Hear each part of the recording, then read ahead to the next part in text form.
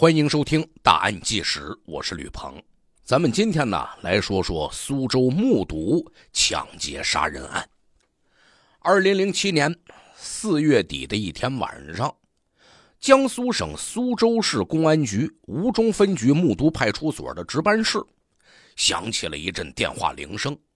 接起来一听，有人呢在沈巷村附近的马路边被抢了。情况很紧急，民警立刻赶到了事发地点，就见一辆出租车就停在路边上，还是斜着停的，没停正，车门呢是半开着的一个状态。司机师傅啊趴在方向盘上，满脸的痛苦。民警走上前这么一看，这出租车司机师傅胸口那儿往外冒着血呢。司机的声音呢，已经很微弱了，“救我，救我！”喊着“救我，救我！”是啊，救人要紧呐。民警呢，又立刻拨打了幺二零急救电话。救护车把这司机师傅接走之后，这派出所民警又给刑侦民警打电话，因为这司机师傅身上有刀口，这是凶杀案。吴中分局刑侦队的民警和技术人员迅速赶了过来，并且把现场封锁住了。技术人员呢，在车上提取了大量的毛发、指纹、血迹等痕迹物证。您各位该说了，有这么多的痕迹物证，这案子好破了吧？不是，没那么简单。出租车呀。车里边的环境是很复杂的，每天上车下车的人多了去了，谁知道哪些毛发、哪些指纹是哪个人留下来的呀？这位司机师傅呢，平时啊一般会有一个腰包啊，这是装钱、驾照和行驶证的。这腰包已经不翼而飞了，行凶的凶器也不见踪影了，应该是被犯罪分子带离了现场。所以当时警方就推测，这是一起因为抢劫财物而引发的凶杀案。警方根据车牌号查询到了司机的信息，联系了司机的家人，赶到医院。这名司机师傅叫许峰，四十岁，当过兵，一米八的大高个子，身体素质很好。许师傅啊，在医院经过一个多小时的紧急抢救。还是因为失血性休克而死。临终之前，许师傅在手术台上很吃力的说出来了罪犯的三个特征：一个人年纪轻，长头发；一个人年纪轻，长头发。许师傅的骤然离世，让许师傅的妻子啊无法接受。许师傅的爱人说：“他是家里的顶梁柱，平时对我和孩子都非常照顾。”许峰的儿子也接受不了啊！许峰的战友得知情况之后过来看望，许峰的儿子抱着许峰的战友嚎啕大哭。法医检查了许师傅的身体，胸口的那处伤口有五厘米深。估计啊，是一把弹簧刀类的锐器造成的。事发地点呢，是一条比较偏僻的公路，也没有摄像头。距离这处地方三百米，就是苏州市当时最大的城中村之一沈巷村。沈巷村呢，是外来务工人口非常集中的一个地方，人员成分很复杂，外来人口数量极多，仅仅登记在册的就有十多万人。警方推测，既然犯罪分子选择在这儿作案，他一定是对这一块很熟悉，那么很可能是本地人，或者是居住在沈巷村附近的人。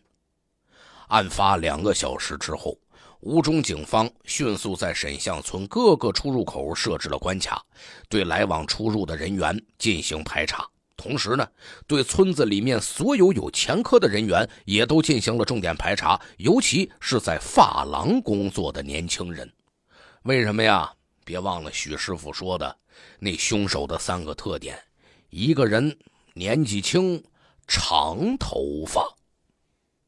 一整晚的时间过去了，吴中警方啊抽调的二百名警力，一共找出来了四百名嫌疑人。根据许师傅提供的发型特征线索，以及嫌疑人的作案时间、作案动机等因素综合考虑下来，并没有符合的犯罪嫌疑人。这四百个人的嫌疑啊，全都被排除掉了。警方一下子犯了难了呀！这凶手到底是什么人呢？去了哪儿了呢？人间蒸发了，这就在沈巷村走访的民警这时候找到一条重要线索：事发的时候，有一对在案发地附近的小公园散步的情侣，隐隐约约的听见有人喊救命。俩人没反应过来呢，就看见有人影从那个方向出现，向沈巷村急匆匆的就跑过去了。警方推测，那应该就是杀害许师傅的犯罪嫌疑人。但是警方已经控制住了沈巷村呐，全面排查了一遍，没找到这个人呢。难道说他是故意假装往沈巷村跑，兜一个圈子，从而迷惑警方吗？他跑会跑到哪儿去呢？他还会留在苏州吗？有了这个推测。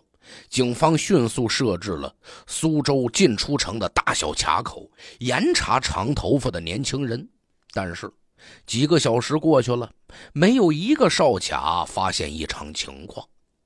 那除了因财杀人，有没有可能是仇杀呢？警方呢也调查了许师傅的社会关系。平时许师傅社会关系很简单，也没有仇家，而且他一米八的个子。当过兵，身体又很强壮，身手也不错。许师傅的爱人还说了一个事儿：就在几个月之前的一天深夜，许师傅也遭遇过一次抢劫。当时歹徒拿着匕首，许师傅一个人徒手就把对方给制住了，还把他送到了派出所。哎，那这一次遇劫。许师傅为什么没有提前察觉到危险呢？为什么被残忍杀害了呢？警方啊，决定对许师傅生前熟识的这些出租车司机进行走访，看能不能有一些新的线索。果然，有一个姓赵的师傅说了这么一事当天晚上九点左右，就是出事前不久，许师傅和赵师傅啊。通过车载的那对讲机还聊过天呢。当时许师傅在对讲机里用他们的哥们之间的行话，跟赵师傅暗示过，说今晚拉的这趟活有点不正常。警方呢，对许师傅开的那辆出租车就展开了调查。为什么许师傅会跟赵师傅说这趟活有点不正常？不正常之处在哪儿？上期节目咱们说到了，警方呢也走访了那些出租车司机师傅们，有一个师傅姓赵，跟许师傅平时关系不错。这赵师傅想起一事来，出事儿那天晚上啊，许师傅用车载的那对讲机跟赵师傅用他们内部的行话啊黑话说了一句：“拉的这趟活有点不正常。”根据出租车公司后台的行驶信息显示，晚上九点左右，这许师傅的出租车呀，在沈巷村附近拉到了一名乘客，从南往北行驶了差不多一个小时，进入了虎丘，然后这车没停，又把车往回开到了沈巷村附近，然后就出了事儿了。这是干嘛呢？大老远的。沈巷开到虎丘，中间也没停，直接往回开，那这一圈太奇怪了呀！而且罪犯的出发地和目的地都是沈巷村附近，那这个人一定和沈巷村存在着什么关联？为此，吴中公安局啊，一边是以沈巷村为中心点向外辐射展开走访调查，一边呢。张贴了无数张的悬赏通告，寻找案发之前在沈巷村附近经常出现、案发之后却突然不见踪影的可疑人员的线索。经过两天的时间，还真是反馈回来了几条这样的线索，但因为这几名可疑人员已经不知去向了，也无从查起。另一边呢，也收到了不少举报信息。民警啊，每天还得从这海量的线索里面进行筛选和甄别。其中，警方发现有一位姓郑的摩的师傅反映的情况。非常的可疑，这郑师傅说，案发第二天，他呢带过一个可疑人员。当时这乘客呀，差不多一米七左右，年轻人，长头发。闲聊的时候，哎，这个人还说前天抢过一辆出租司机，个头，年轻人，长头发，一个人，这符合许师傅临终前的描述啊。警方可没有对外公布过许师傅临终前的这句话。可是这郑师傅说的情况完全符合许师傅生前说的这描述。那这郑师傅怎么知道的呀？而且郑师傅说，是从沈巷村拉的那个人去虎丘观景二村，那不就是许师傅遇害之前走的路线吗？从沈巷到虎丘。这凶手为什么要在第二天重走一遍前一天晚上的路线呢？难道说凶手没有离开苏州？不过有一点没有办法解释啊，他真的是凶手的话，为什么要跟一个陌生的摩的司机承认自己抢劫过呢？这整起事件都太蹊跷了。警方针对摩的司机郑师傅反映的情况。重新的做了认真的调查，但根本没找到这么一个人。这人呢，就跟凭空消失了似的。哎，这时候警方怀疑到了郑师傅身上，就问郑师傅：“事发当天晚上你在干啥呀？”我那晚没出车，一个人自己在出租屋里睡的。因为他说是一个人睡的，找不出来其他的人证。警方呢？也就没有办法排除郑师傅的嫌疑。难道说郑师傅描述的这个客人根本就不存在，是郑师傅自己杜撰的？其实案发当晚是郑师傅上了许师傅的车，作案之前准备好了假发，戴上假发套上了出租车，为了扰乱视线，故意让许师傅往虎丘转上一圈，再回沈巷村作案。真实情况会是这样吗？警方啊，立刻对郑师傅展开调查。郑师傅呢是连云港人，三十岁，在苏州啊打了不少年工了，干过好多份工作，但每份工作都干不长。干摩的呀，这一天下来挣不着多少钱。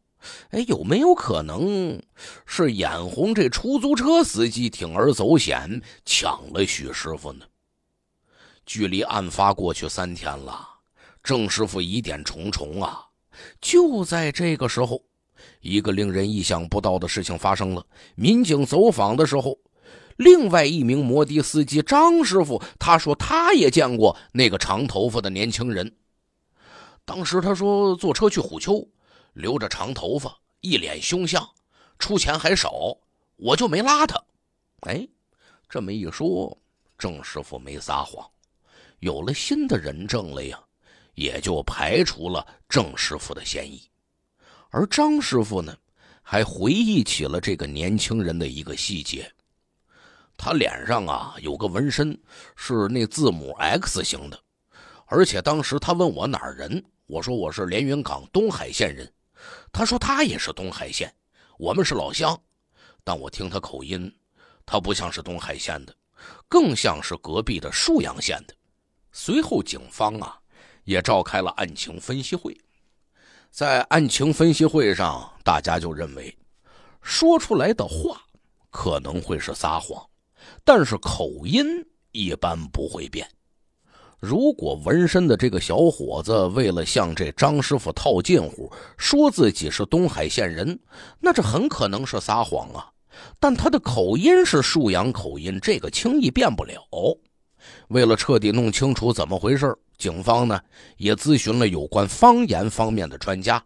原来呀，东海县跟沭阳县别看是紧挨着，但两个地方的语言、行为习惯有明显差异。跟沭阳县相邻的有几个乡镇，虽然归属于东海县，但方言呢却更接近沭阳。苏州警方立刻和连云港东海县取得联系，两边啊同步协查案件。主要对东海沭阳的在苏州的人员进行寻访。现在警方掌握到的犯罪嫌疑人的特征已经有四个了。许师傅那提供了仨：一个人长头发，年纪轻，现在多加一条，脸上有 X 型纹身。警方针对这四条特征进行仔细摸排，终于在吴中的一家滑冰场里面有了重要发现。这个滑冰场啊，有一个工作人员。这工作人员说：“那个人我不认识，但我朋友跟他熟，有一回还把他带过来滑冰呢。”这个滑冰场的工作人员，他那个朋友的名字叫谢昌松，姓谢的人是非常少的啊。这个“谢”字呢？左边的上半部分一撇一捺啊，就类似于 X 那个形状。下边呢就是英雄的“雄”，最左边的那半部分，然后这个字的右边就是双耳刀。这个字放在姓氏里面读“妾”。这妾昌松在苏州租住的家就是在沈巷村。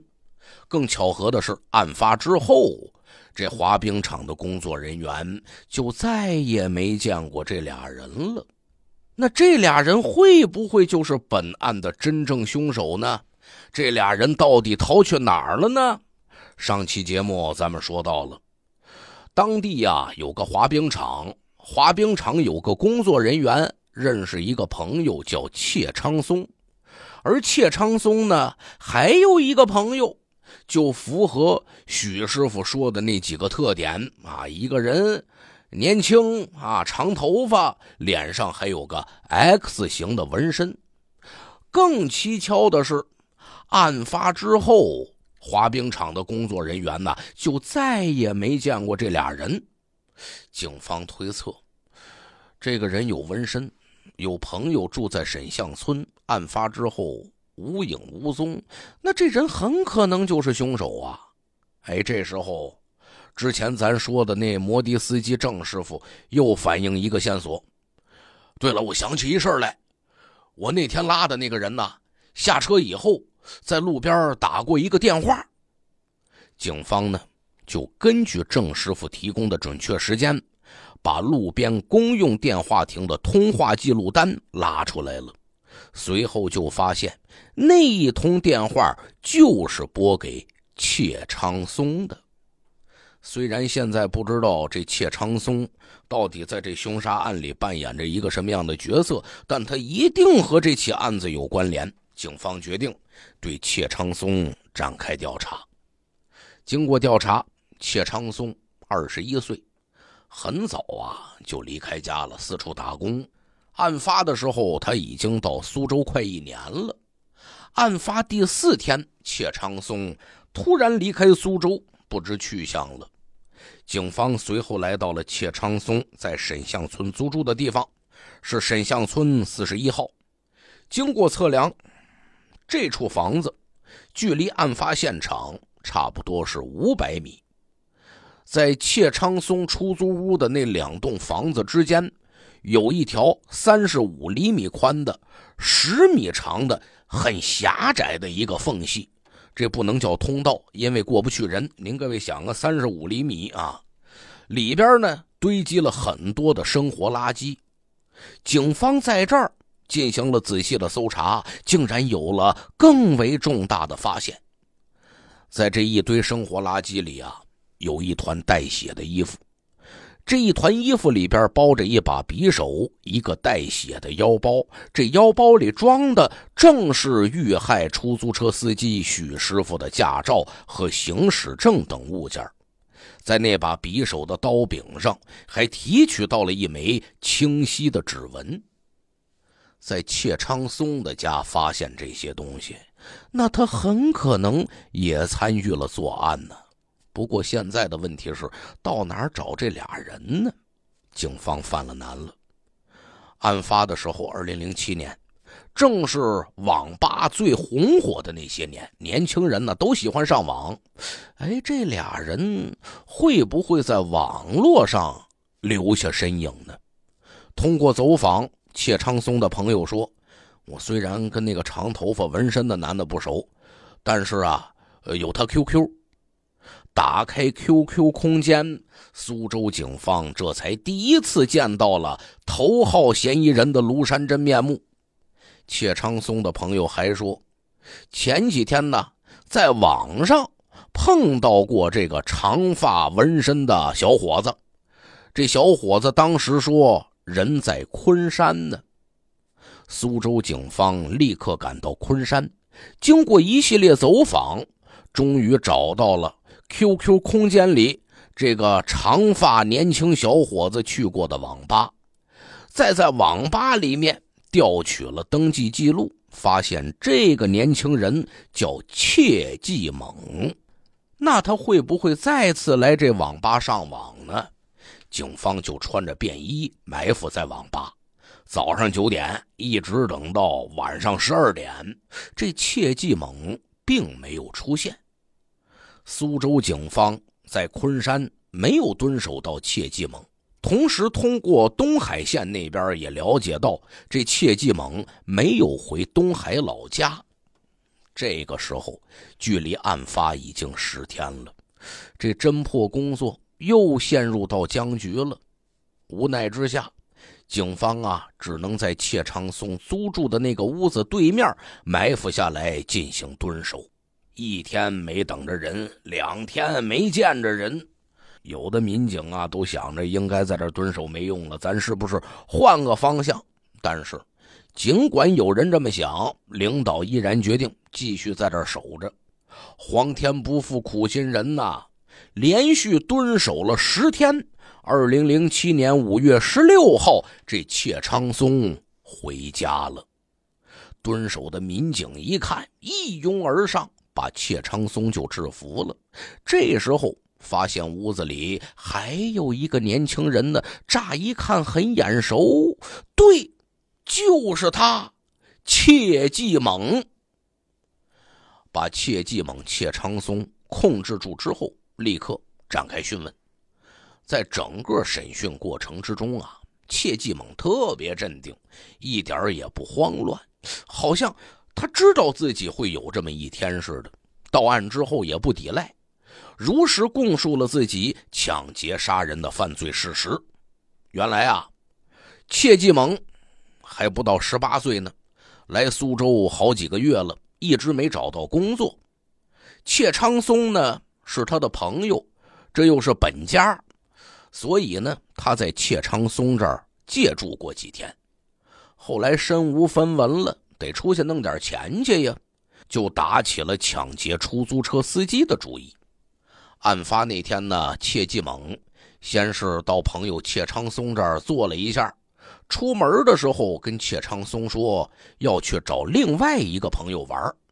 其实啊，他哪是去找别的朋友啊？他也没什么朋友啊。他一个人呢，在沈巷村附近街上的一家咖啡店就坐了下来，一坐。就坐到了天黑，这时候在路边拦下来了许师傅的车，打算实施抢劫，但因为人比较多，不方便下手，就让许师傅往虎丘开。到了之后，骗许师傅说自己忘了带钱了，得回沈巷村拿钱。等许师傅开到切记猛事先踩过点的案发地点之后。切记猛掏出来匕首，威胁许师傅给钱。别忘了，咱之前说过，许师傅在案发前几个月也遇到过持刀抢劫的。许师傅当过兵，一米八的大个子，身手了得，没把切记猛放在眼里，俩人就撕扯了起来。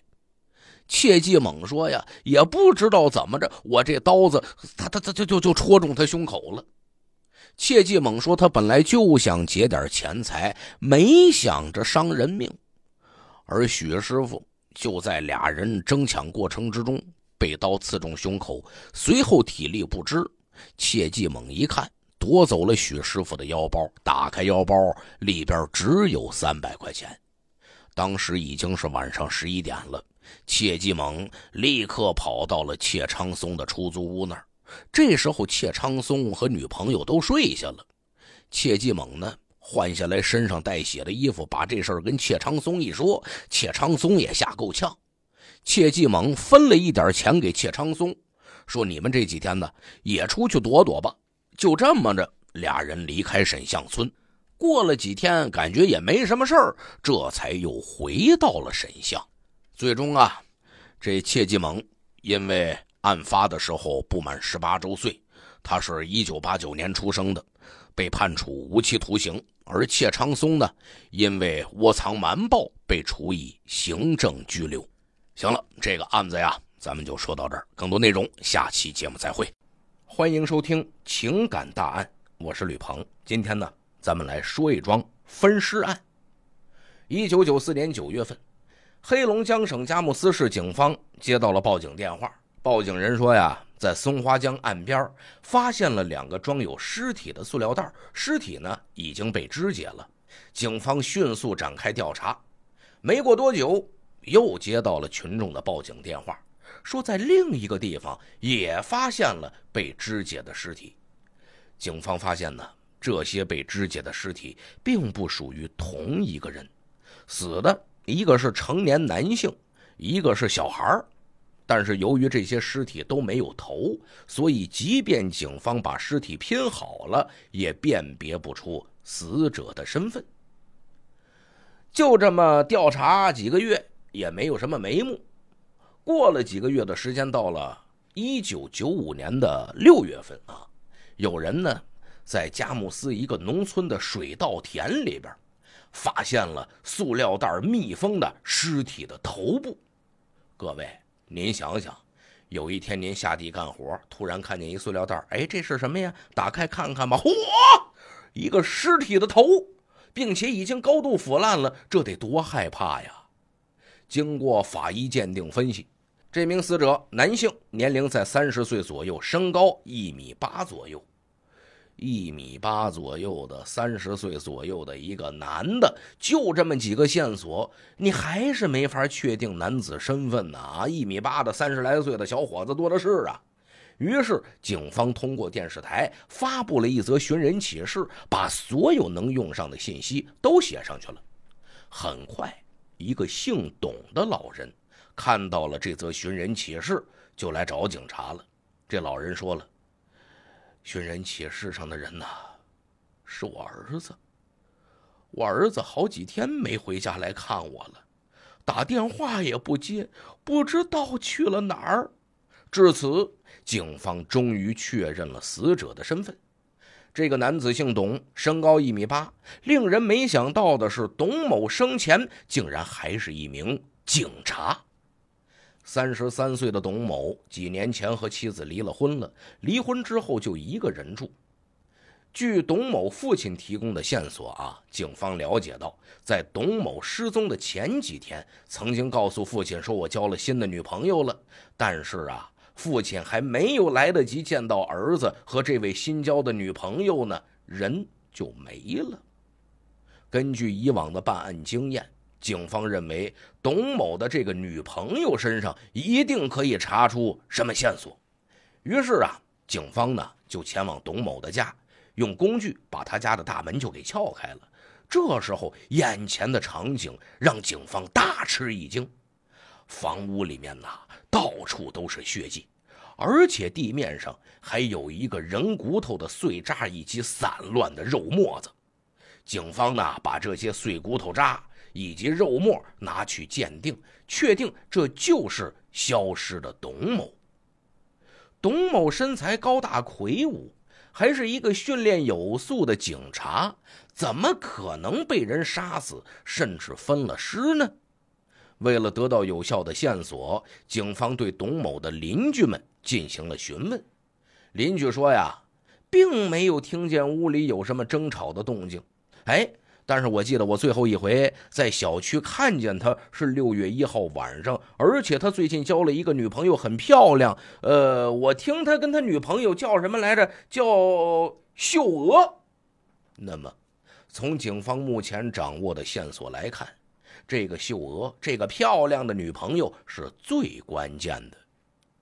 据董某的同事说，董某跟他这位女朋友啊，是通过一家婚姻介绍所认识的。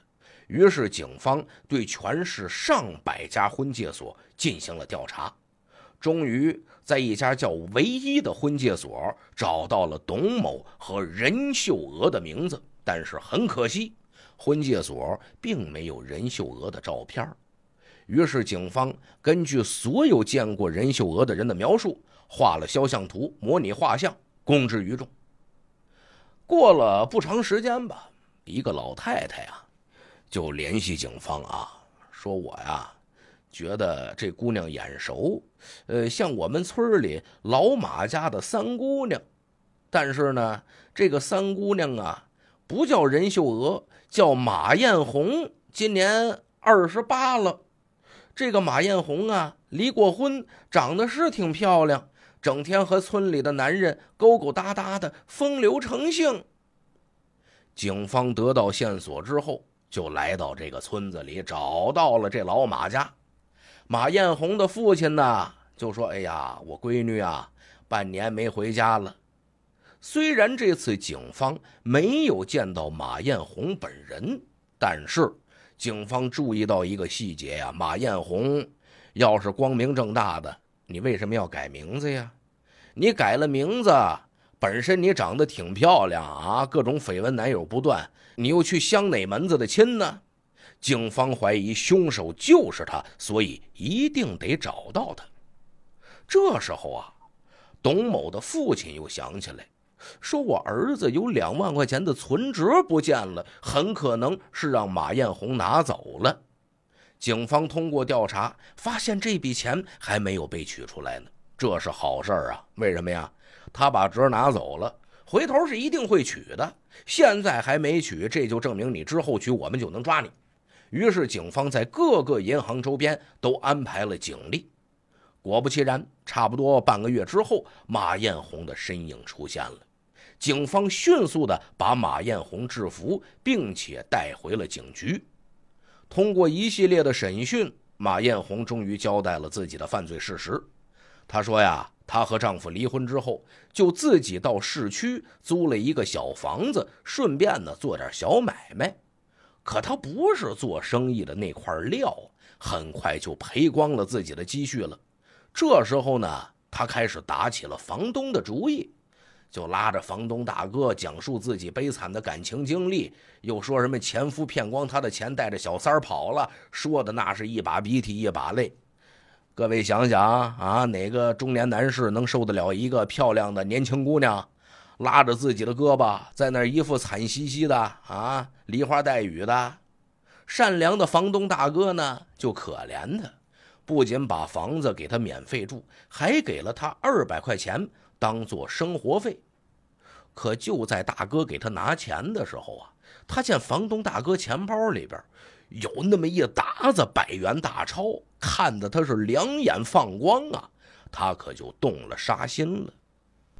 随后呢，马艳红啊，就以感恩房东照顾这么个名义吧，就请房东父子俩吃饭，然后在酒水里边提前放好了安眠药。在善良的房东父子被晕倒之后，马艳红把他们杀害并且碎尸，然后拿走了房东包里的钱。有了钱之后，马艳红换了环境更好的房子，并且没有节制的挥霍。很快，杀人得来的钱又被他花光了。于是，用假名字在婚介所登记了征婚信息，想认识新的目标。很快，目标就找着了呀，就是人高马大的警察董某。俩人相识不久，马艳红就住进董某家了。虽然董某外貌、工作都不错，但马艳红还是不满足。他就经常刺激董某，说：“我前夫啊，可能挣钱了。”这董某呢，也要面子呀，顺势就拿出来自己的两万块钱存折给了马艳红了。可没成想，这竟然给他招来了杀身之祸。一九九五年六月二号，马艳红用同样的伎俩迷晕了董某，然后把他的尸体分解开来，最后拿走了两万元的存折。其实咱们事后说，如果马艳红真心的对待董某，这两万迟早也是他的呀。可马艳红也说了，我自己的一切都是假的，迟早会败露。况且我杀过人了呀。那么咱们来解密一下，之前没有找到尸体头部的那两具碎尸，其实就是好心的房东大哥父子俩。不是一个成年男性尸体，一具小孩的尸体吗？后面在水稻田里边找到的这个腐烂的男性的头颅，这是董警官的尸体。一九九八年，马艳红最终因故意杀人罪被判处死刑。行了，今天节目啊就讲到这儿，更多内容下期节目再会。二零一零年九月九号的晚上。在浙江省宁波市的十二路公交车上，在车载电视里，突然插入了一条悬赏通告。这条通告的内容大概是这样的：说如果你周围有一九九六到九七年前后突然暴富、出手阔绰的人，请向警方报告，我们将为您提供最高五十万元的赏金。根据二零一零年绍兴警方公布的监控影像资料，现归纳出此人的主要特征为：男性，年龄四十岁左右，身高一米六八左右，体态中等，走路略呈外八字，脚穿三十九到四十码黑色皮鞋，发型四六分，前额头发微秃。此人可能当过特种兵，或有过当体育老师的经历，目前。可能长期流窜在宁波和绍兴一带。看到这条悬赏通告，公交车里的人是议论纷纷，说这个人干了什么事儿，能让警方悬赏五十万向公众征求线索？而且很明显，现在这罪犯还没有被抓住啊，那这个人他会不会再跑出来再害人啊？一时间啊。在座的所有人，那都是人心惶惶。其实早在二零零五年，警方就以二十万人民币的巨额赏金，向公众寻求这个犯罪嫌疑人的线索了，但是几年来一直没有什么进展。五年之后的二零一零年，这案子很明显还没破，警方只能再次提高悬赏金额。以高达五十万的赏金来征集线索，但是仍然没有结果。这次之后，又过了七年，案发二十二年以后的二零一七年，经过漫长又曲折的侦查，警方才最终锁定了这个罪犯的身份，把他成功的抓获了。这如此之长的侦破时间。及其巨大的财产损失和相当恶劣的社会影响，让这起案子后来被称为宁波第一悬案。它就是大名鼎鼎的宁波绿洲珠宝行大劫案。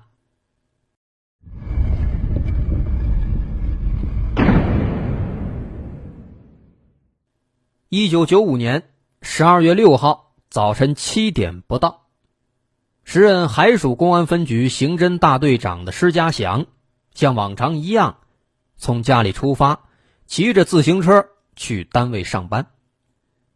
但他刚刚跨上车座子，他放在公文包里的一个大哥大就突然响起了急促的铃声。需要说的是啊，这个大哥大可不是施家祥的私人电话。而是海曙公安分局专门给这几个大队长分配的。当时整个海曙分局只配发了三台大哥大，用于重大警情的联系。也就是说，只要这个电话一响，那肯定就代表出大事儿。果不其然啊，大哥大接通了电话那头的警员，跟他说：“说绿洲珠宝行里面有两个人被打死了，而且死相非常惨，甚至他们的眼珠子都给挖出来了。”听到这个情况，施家祥一刻也不敢耽搁，赶紧来到了位于宁波最繁华的地段的中山路一百七十八号绿洲珠宝行。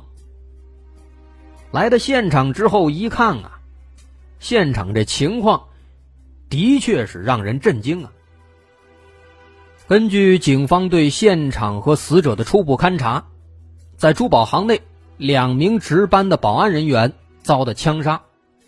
死者的眼珠全部被挖出，尸体全都躺在一楼。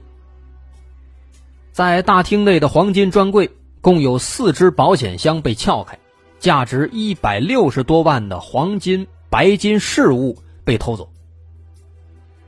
此外，现场遗留下来的物证还显示，这个罪犯啊极其嚣张，杀人之后甚至把作案工具全部留在了现场。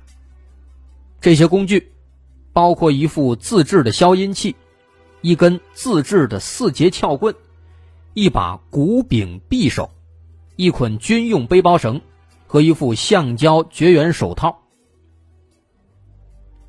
这起案子案情层层上报，各级领导可以说高度重视，因为这起案件的性质，首先来讲，它就非常恶劣，这又发生在如此繁华的大都市。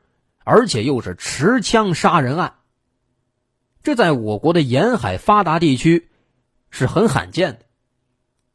这罪犯呢，他又一下杀了两个人，还挖掉了眼球，抢走了大量的黄金白金，非常的嚣张。所以宁波这边警方赶紧调集人手，展开侦查工作。那么在此之前。咱们还是先简单介绍一下这个案发的珠宝行。当年这个绿洲珠宝行呢，它是在宁波市海曙区中山东路一百七十八号。这珠宝行可大了，它是一栋六层的楼房，地处宁波市区最繁华的地段。它是成立于九四年，也就是案发的前一年，老板叫做陈春明。他呢是改革开放之后啊富起来的第一批商人之一。那一九九四年的时候，国内的黄金交易市场刚刚放开，陈春明很有魄力，从银行贷款，把中山东路一百七十八号的店面整个租下来，做成了这么一个珠宝行。要知道，在当时的宁波来讲，除了几个国营的商店柜台之外，几乎没有其他地方再出售这个黄金珠宝了，而且这些国营商店呢，他们出售的这个黄金珠宝首饰啊，款式什么的也不够新颖，甚至有点土，跟不上潮流。因此，当时陈春明这珠宝行一开啊，就吸引了大批的这个消费者的眼光。而且他这儿除了出售黄金珠宝之外，还出售高档手表。价格呢，比国营商店里边也稍微便宜那么一些，啊，这也是当时的一个亮点。简短截说，因为陈春明有魄力、有能力、有远见，所以他这绿洲珠宝行生意非常红火。第一年九四年年度营业额就高达五百多万了，这让绿洲珠宝行一下子成为了宁波最火爆的珠宝行。那么自然，这个地方也就成了那些好吃懒做、违法犯罪之徒的眼红的目标。而如今，在开业一年多之后，一九九五年十二月六号这一天，终于有人下手了。此时，面对这起案子，警方心里最大的疑惑，就是这个盗窃犯、这个杀人犯。他是如何偷偷的进入到珠宝行一楼的营业大厅的？因为一楼的外围还有内部，一直都有保安在巡逻，是不可能从大门或者窗户强行进入的。那么当时警方为了搞清这个问题啊，只能试图通过细微的线索来还原罪犯的行动。但这是一个非常艰难的工作，为什么呢？在前面，咱们介绍了，这个绿洲珠宝行总共是有六层，这犯罪中心现场是在一楼的营业大厅。光这一层的面积就超过了八百平米，更别说六层加起来了，好几千平啊！说当时省厅、市局、分局三级公安机关十几位业务骨干，在这偌大的案发现场，从中心现场到周边区域，从一层营业厅到六层的这工作区，层层推进，足足工作了二十九个日夜。每天十六个小时，才算是把这现场给彻底勘察完成。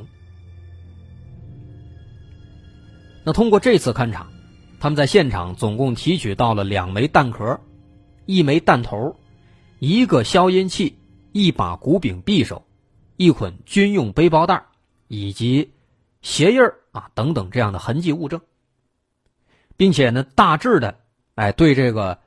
犯罪嫌疑人他进出的通道、作案的过程，以及罪犯的某些特征，进行了一个初步的刻画和现场重建。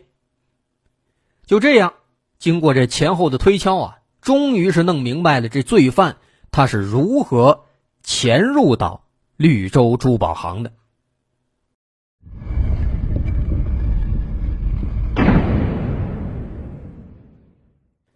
现在有了更多的物证和痕迹线索啊，我们也终于可以对凶手的情况有一个大概推测了，以及对他的作案过程有这么一个大概的模拟。说，首先，当时让警方感到震惊的是啊，这个案犯呢，极有可能只有一个人。为什么？因为现场只发现了一个人的脚印，同时现场各个地方的痕迹看起来也是一个人在行动。啊，这是警方万万没想到的。如果说这个案犯真的只有一个人，那么毫无疑问，这个人的心理和身体素质必然是极强的，很有可能受过某些特殊的训练。至于说这个人他是如何作案的，根据现场的情况，警方呢也做了一个大概的推测。首先，事发前一天晚上，也就是。九五年十二月五号，这个案犯呢，他首先是借助珠宝行墙外的这个电缆线和空调外机，利用这个绳子等等工具，攀爬到了绿洲珠宝行六楼顶楼的总机房里边。他在这儿一直等，等到过了十二点，到了这十二月六号凌晨了，他看着下边这个保安什么的换班以后，趁着这个空档。他先从楼顶用自带的这个军用背包带，顺着这个里边的电梯井下滑到了一楼的营业大厅。电梯井里边很难有人会注意啊，没人能看见呢。然后呢，迅速窜出电梯井，用随身携带的手枪威胁一楼电梯外的两名保安，把他们控制住以后，捆绑住手脚，给制服，然后。潜入到了珠宝行大厅之内，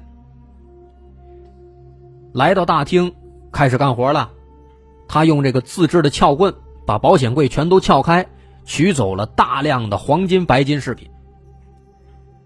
那取走这些东西之后啊，这个人可能，哎，他怕那两个被他制服的保安给警方提供线索，所以呢，把这两人的眼珠子全给挖掉了。但挖完之后一琢磨，可能还是不放心。又用手枪干脆把俩人都给打死了。最后，他逃离现场，并且极其嚣张的在现场留下了这个作案工具。哎，这是对这个罪犯当天的这个犯罪路线做的一个大概推测，应该也是八九不离十。那么再说另一边，另一边的这个现场这儿啊，全面铺开找线索、做推测的同时呢。侦查工作也在紧锣密鼓的往前推进。专案组派出众多警力，对绿洲珠宝行的所有相关人员和宁波市全市的重点违法犯罪人员、有前科人员，开始逐一排查，并且对这个这个案犯他可能偷盗之后去销赃的各个渠道，也进行了严密的监控。哎，但是啊，这几天下来，好消息。却始终没有传过来，这很奇怪。这眼下，宁波已经被查了一个底儿朝天了，没有一点线索。这为什么呢？难道说警方的这个侦查范围还是不够大吗？不合理呀。不过呢，话说回来，当时啊，警方这人手确实也很有限，能把整个宁波查遍了，其实已经很不容易了。再往更大的范围去查，显然也是有点力不从心了。那么看这情况啊，漫无目的的说大范围排查，这效率肯定不高。于是警方决定呢，还是先把这重心啊放到这个物证的调查上。因为前面说了，这罪犯在现场遗留了大量的物证，那么就从现场遗留的这些物证入手。把这儿作为重点，看看能不能找到什么信息。尤其是他在现场遗留的那些弹壳和那把骨柄匕首，这两样东西都是属于比较少见的东西。首先，这个枪械、弹壳、弹药，这个不用说了，我国禁枪啊，查清了这枪支弹药的来源，就有可能找出凶手的身份。至于说那把骨柄匕首啊。更加罕见了。这骨柄，就是说呢，它是用骨头做的这个刀柄，这来源肯定是更少。所以警方决定呢，在全国范围之内，先查这个物证的线索。简短接说，案发之后的第十九天，十二月二十五号到圣诞节了，工作组就赶紧奔赴北京，向公安部。汇报这起案件的相关工作。那在北京期间呢，对公安部在枪案现场档案库当中所有留存的这个弹头弹壳进行了逐一比对。但是比对了所有的弹头弹壳之后，却发现没有一个能跟这个案发现场发现的弹壳能对上。这更邪门了。后来，实在没办法了，专案组又经过公安部和兵器部二零八研究所，啊，又通过这两个部门的研究和查证，最终这几个弹壳呢，这才有了结论。说之所以说这个弹壳没有一款能跟我们这个库里的比对成功，是因为罪犯使用的这个子弹啊，它压根儿就不是国产的，哪来的呢？它是前民主德国。他们制造的子弹，而这种子弹，在当年的越南战场上是比较常见的。这个可以说是一条重要线索。除此之外呢，这起案件当中，我们刚刚提到的另一个重要物证，那个骨柄匕首，这把刀的材质和样式啊，可以说都比较罕见，很可能。也会成为这起案子的关键突破口。但是啊，咱都说这事儿啊都有两面，正是因为它的罕见啊，也就导致对这把刀的调查更困难。当时专案组为了查清这把刀的来历，先是找到了北京动物园骨髓研究所的专家，然后呢，带着人家专家又去到了甘肃兰州，啊，这个一个郊县临夏镇的。大型牲畜屠宰场，在专家的现场指导之下进行实验，然后呢，对比各种常见动物的这个骨骼，最终发现，这个骨柄匕首啊，它的这个骨柄的骨髓腔要更大，骨壁要更厚，它属于什么呢？应该是属于大型食肉动物的后腿骨。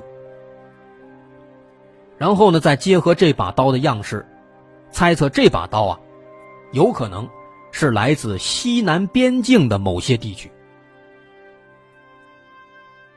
啊，那么现在，关于这两个物证的源头的线索，可以说，终于是有点眉目了。那么这也为后续的侦查工作呢，开辟了一个新的方向。警方可以沿着这两条路线去找，看在西南边境，在越南战场，也就是说，综合来讲呢，就是西南边境这一块有没有一些需要留意的一些线索。除此之外呢？对于案犯在现场遗留的那个什么撬棍啊、背包袋啊等等这些物证，专案组也分别交到了多达十三个其他的相关部门，分别进行调查和辨别，以期能够找到更多的线索。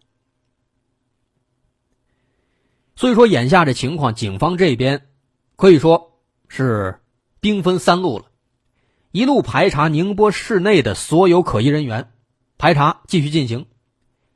另一路呢，去查弹壳和骨柄匕首的来源，去西南边境；而第三路呢，去研究其他的物证，看看其他物证上能不能搞出什么名堂。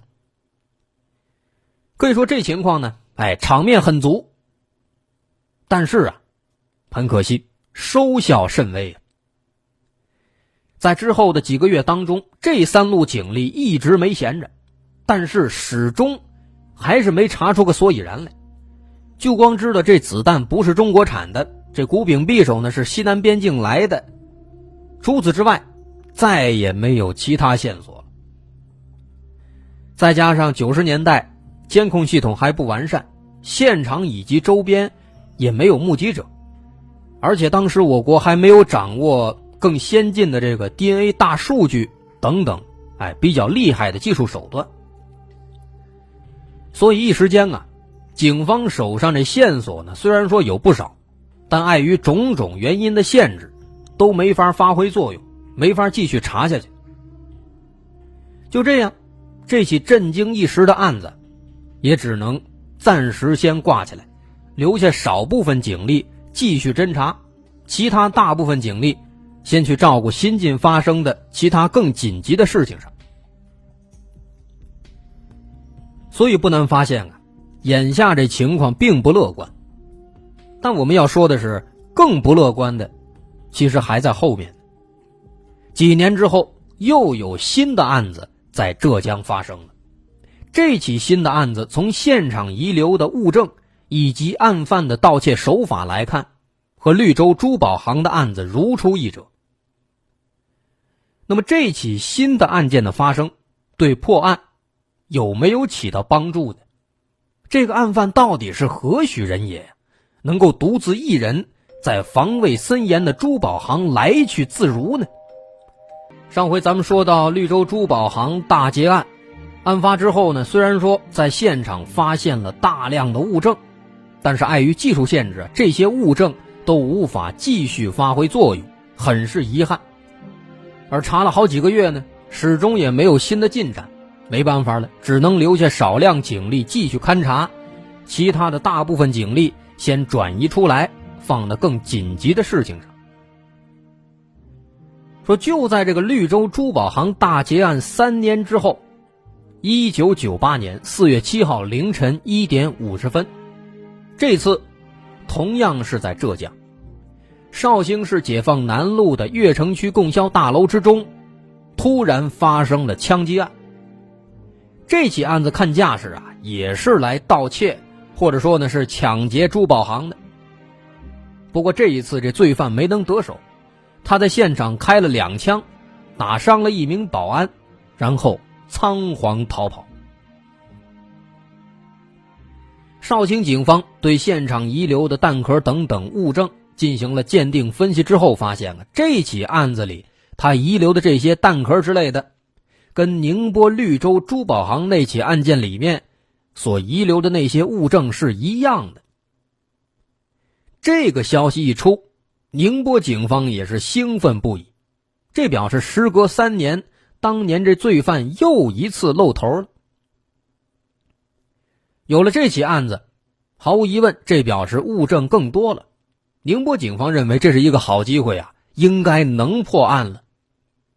因为这次这案发现场啊，因为罪犯没成功啊，他逃跑的仓促，所以呢，遗留的物证相对上一次要更加的多。那么在这一堆物证当中，有一个自制的枪械消音器，引起了宁波警方的注意。这个自制消音器和之前宁波绿洲珠宝行案件当中的那个遗留的消音器啊，很相似，但是仔细观察能发现，在工艺上又有所改进，效果更好了。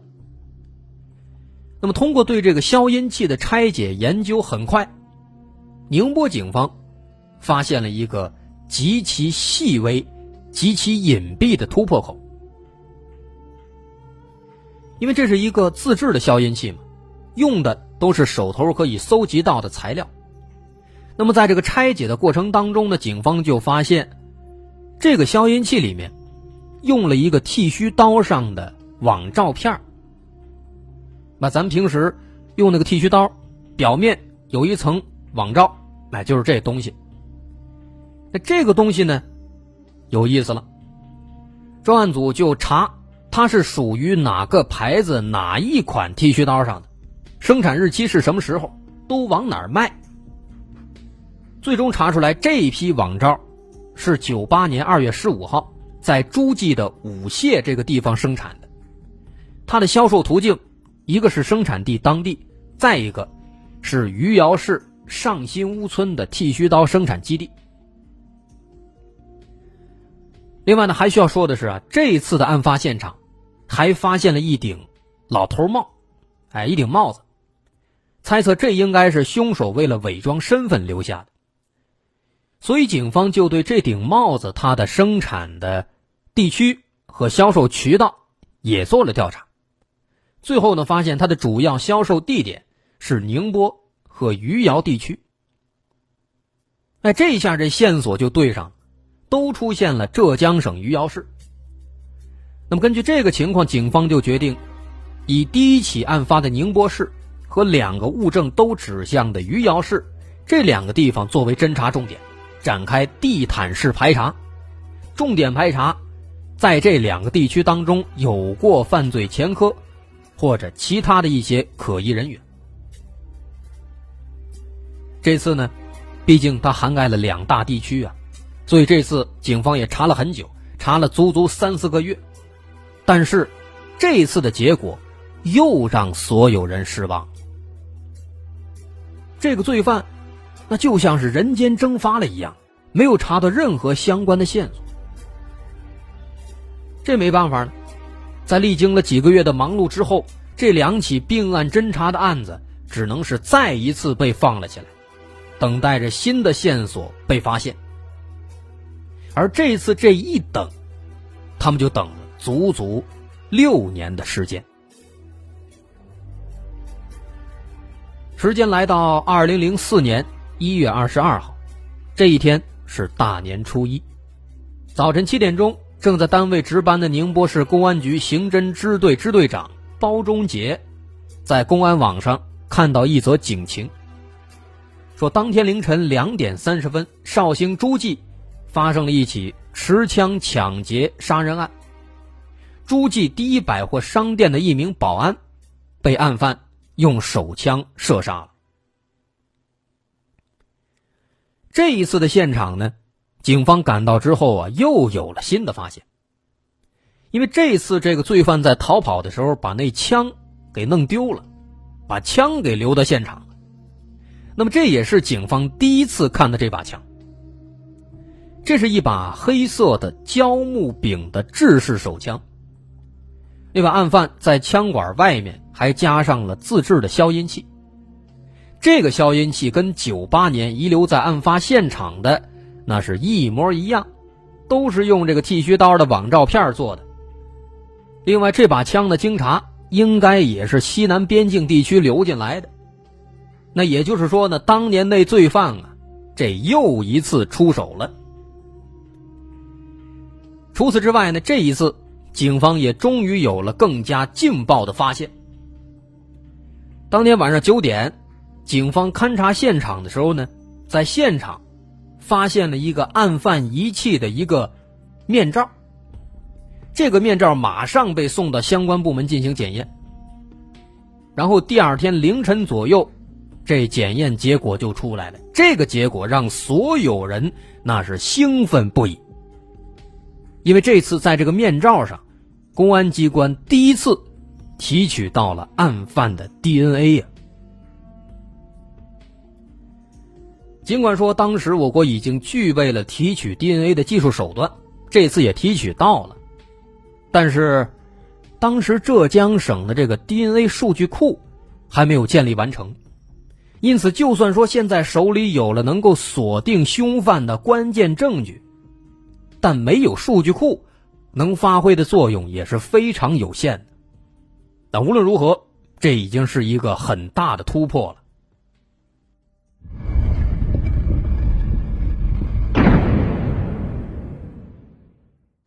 可能也是出于无奈吧。二零零五年，警方悬赏二十万向社会征求这些案犯的线索。而这个悬赏令一出，老百姓们那是议论纷纷啊。一方面是抱怨，抱怨这么多年了，案子还没破，警察就没有一点办法吗？这能力也太差了。这个其实也不能怪人家，这也没办法。老百姓们他们不是警察呀，他们也不知道警方面临的压力是多么的巨大。而另一方面呢，因为这个珠宝大盗在作案之后，就像是人间蒸发了似的，警方这排查了好几轮了，一直没有线索呀，很神秘。因此，老百姓们对于这伙罪犯啊，嗨，也编造出了各种神乎其神的传言。当时在这个绿洲珠宝行案发之后啊，那俩保安眼珠子不是被抠下来了吗？那宁波这边流传的最早的一个说法是什么呢？说。因为死者在被杀死之前啊，肯定看到那个罪犯了，那么罪犯的形象就会在这个死者的眼睛里边成像，因此这个这个凶手就把这个两位保安的眼珠子给挖出来，这为的是防止警方通过解剖这个眼珠子找出这个罪犯的样貌特征。看这个说法一听就很荒谬啊，也没什么科学依据。也没听说过有这么神奇的技术。另外呢，第二种传言说，因为当时啊，这香港那个警匪片特别流行，咱应该都看过，所以社会上就传言说，说这珠宝大盗啊是这港澳地区的这个职业大盗，长途奔袭到宁波来做大案来了，作案之后销声匿迹，偷偷回到港澳地区了。然后第三种传言呢？更加无厘头了。这个说法认为啊，说这个绿洲珠宝行那老板，他不是叫陈春明吗？说他呀，当时贷款资金链相当的紧张，没钱怎么办呢？他就自己雇佣了这么一堆职业大盗来盗窃自己的这个绿洲珠宝行，以此来骗取这个保险公司的保险金。啊，这个说法，那其实不攻自破呀。陈春明当年第一年。那赚的就盆满钵满，咱刚才也说了，而且以他这个眼界和头脑，几年之内，绿洲珠宝行的地位几乎是无法撼动的。当然，前提如果没出事的话，那肯定是这样的。所以说，怎么可能会出现这缺钱的情况呢？就算说真的遇到什么意外了，以陈春明的头脑，他也没有理由会采取这种风险极其高的办法，完全得不偿失啊。但不管怎么说呢，民间开始流传有关这个案犯的这些神乎其神的传言了。其实恰恰说明这几起案子，确实给人们也带来了不小的恐慌。而这个情况呢，毫无疑问也给警方破案带来了更大的压力。而就在警方苦苦侦查的时候啊，这个珠宝大盗，他的手又痒痒了，他又动手了。这次很近了，是在零七年。零七年十一月六号晚上九点钟，浙江省诸暨的嘉瑞珠宝行发生了一起抢劫杀人未遂事件。通过对现场的痕迹和这个物证分析，警方认定这起案子跟之前的几起案子有着重大的关联，很可能也是同一人所为。那么细数下来呢，这应该是这珠宝大盗第四次出手作案。但是后来他被抓住之后啊，警方才知道，其实在这四次盗窃珠宝行之前，他还做过两起案子，杀过人。啊，当然这个就是后话。那么警方当时就回过头来，仔仔细细的把这四起案子放在一起，慢慢分析，然后总结，总结出了一些有关这个珠宝大盗的重要的特征。首先。这个珠宝大盗呢，每次他都是单独作案，心思极为缜密。每次实施盗窃抢劫之前，他都会提前布置好逃跑路线。作案的时间呢，一般也都会选择在凌晨或者午夜。其次呢，这个珠宝大盗啊，他能够自己制造枪支的消音器，会使用军用背包带，用背包绳。因此呢，他可能当过兵，或者说呢，服过预备役。另外，从现场的其他物证来看，这个人他会使用护膝加工成的鞋套，会用长跳绳，这说明他可能从事文体工作，比如说可能当过体育老师。再次。这个珠宝大盗他所使用的手枪和子弹，刚也说了都是外国货，说明他曾经在中越边境或者中缅边境一带出没过。而他遗留在现场的那把古柄匕首，刀柄是用大型食肉动物的骨头做的，这说明他也有可能是来自少数民族。另外，毫无疑问，他有很强的动手能力，精通五金加工。并且有地方也有能力打造专门的犯罪工具，比如他自己制造包括这个手枪、消音器在内的作案工具，而且作案之后呢，又全部扔在现场。这说明人家能随便做，不怕浪费。而且他在现场所使用的那个撬棍，也是专门制造的，可以分成四节，便于携带安装。能看出来，这是专门为了撬开保险柜专门制作的。最后还有一点呢，说这个人他的职业可能跟珠宝也有关系，或者说呢对各类珠宝有所了解。就拿九五年绿洲珠宝行丢失的黄金和白金那些事物来说，他很清楚这个柜子里面放的是什么，什么东西值钱，什么东西不值钱。然后迅速的拿走自己需要的，而这四起案件，都是针对黄金珠宝，说明这个人很可能在珠宝行业工作过，或者说很熟悉，并且他会有固定的销赃渠道，而他的作案地点都在宁波绍兴，说明他可能在宁波绍兴一带居住，极有可能。能具体到诸暨、余姚和慈溪等地区，而且通过这几起案子，能发现这个人生性冷静残忍，通常是每隔几年作案一次，这说明他极有耐心，非常冷静。每次作案呢都是快进快退，这说明他曾经多次踩点，熟悉地形，每次呢都做好逃跑的准备。被人发现之后，毫不犹豫，果断开枪动刀。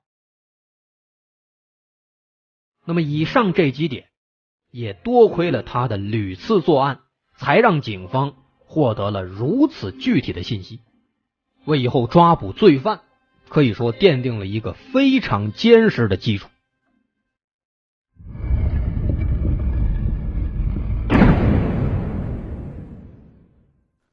除了刚才咱们说的那些之外呢，在零七年诸暨发生的最新的这起案子里面呢，其实还有一个意料之外的发现。说这家珠宝行的外面正好有一个监控摄像头，这个摄像头记录下了这个珠宝大盗的行踪。而在这次案发三年之后，二零一零年九月，宁波公安机关也首次。把这名珠宝大盗的照片向社会公布了，以征集更多线索，并且把这个悬赏金额从零五年的二十万提高到了五十万。那么，伴随着这次的悬赏，警方同时公布的呢，还有这段监控录像。从这个监控录像能看出来，警方之前的推测完全正确。啊，这个人多次来到这个嘉瑞珠宝行踩点。从视频上看呢，这个人身穿一件黑色内衣，披了一件黄色外套，下穿浅色牛仔裤、黑色运动鞋。那么，通过这段视频，警方也首次描绘出了这个案犯的人物形象，刻画了这么一个照片和画像。所以现在，警方的手里面已经汇集了有关这名案犯的大量线索。随着悬赏通告的发布，肯定还会有大量的蛛丝马迹汇集过来。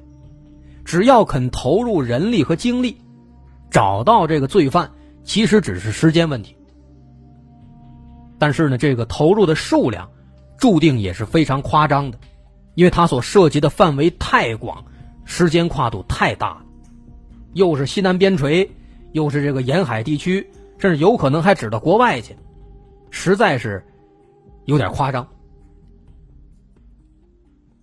那么果不其然，悬赏通告发出之后的几年当中，全国各地各类线索纷至沓来，前前后后。总共汇集了两千多条线索。这专案组呢，也是远赴云南、广西、广东、福建等地，对这两千多条线索是一一查证。那在这里面呢，确实也有过这么几次让人激动人心的时刻。比如零四年下半年，一条来自浙江金华的线索显示，有一名男子在身高、年龄等方面。和警方对嫌犯的刻画呀相当吻合。这个男子呢曾经开过小型的机械加工厂，和宁波的客户有密切往来。而且在绍兴零四年案发期间呢，这个人也在绍兴待过。那这其实是比较吻合的。于是警方赶紧就来到金华。但是最后啊，通过各种的这个渠道的查实和比对，发现这个人呢。他并不是要找的案犯，那没关系。后来，二零一五年，又有一个线索，说这个杭州萧山有一个姓徐的男子，这个人曾经做过钢结构的生意，开过五金加工厂，而且九五到九六年在宁波生活，九七年呢，突然买了一辆高级轿车，并且还在宁波上了牌照了。之后，零四年，又在这个诸暨生活过，这几个地方，啊，都和案发的时间点、地点高度吻合，而且他的这个体貌特征和警方对嫌犯的这个刻画呢，也是高度相似。这事儿一听，警方是为之一振，赶紧联系这个线索来源，去看看这个姓徐的男子。到那儿一看啊。这专案组的几名干警激动的心脏都要蹦出来了，为什么呀？首先，这名男子他的居住地就在萧山和绍兴的交接处，从这儿翻过一座小山头，就是其中的一个案发地。而警方进到院里，四下一看，这院子地上散落着各式五金工具，一边的平房里面呢，还有一个小型车床。这跟警方之前推测的凶手的动手能力强这一点，那是极其的吻合呀！好家伙，给大伙激动坏了，信心十足。那后来呢，也是为确保万无一失吧，专案组又来了两次，一次比一次有信心啊。但是啊，哎，咱们要说但是了，最终呢，通过进一步的查证比对之后，却发现这个人也是无辜的。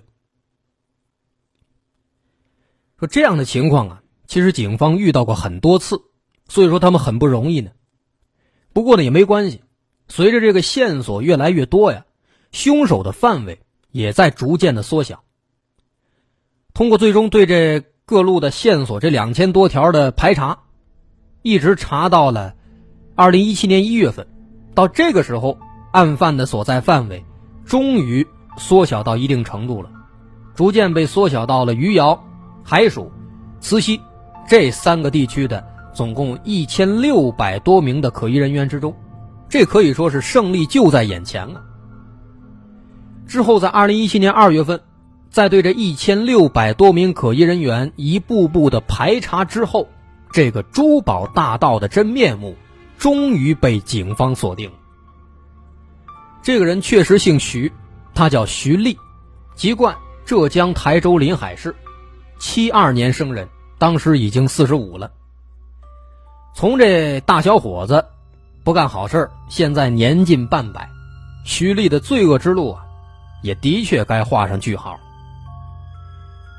二零一七年三月二十九号下午两点半，在摸清了徐丽的活动路线之后，专案组警方布置警力提前埋伏，最终在一家棋牌室里把徐丽成功抓获。之后，通过提取徐丽的 DNA 样本和零四年诸暨第一百货商场案件当中罪犯遗留的口罩上所提取到的 DNA 进行核对。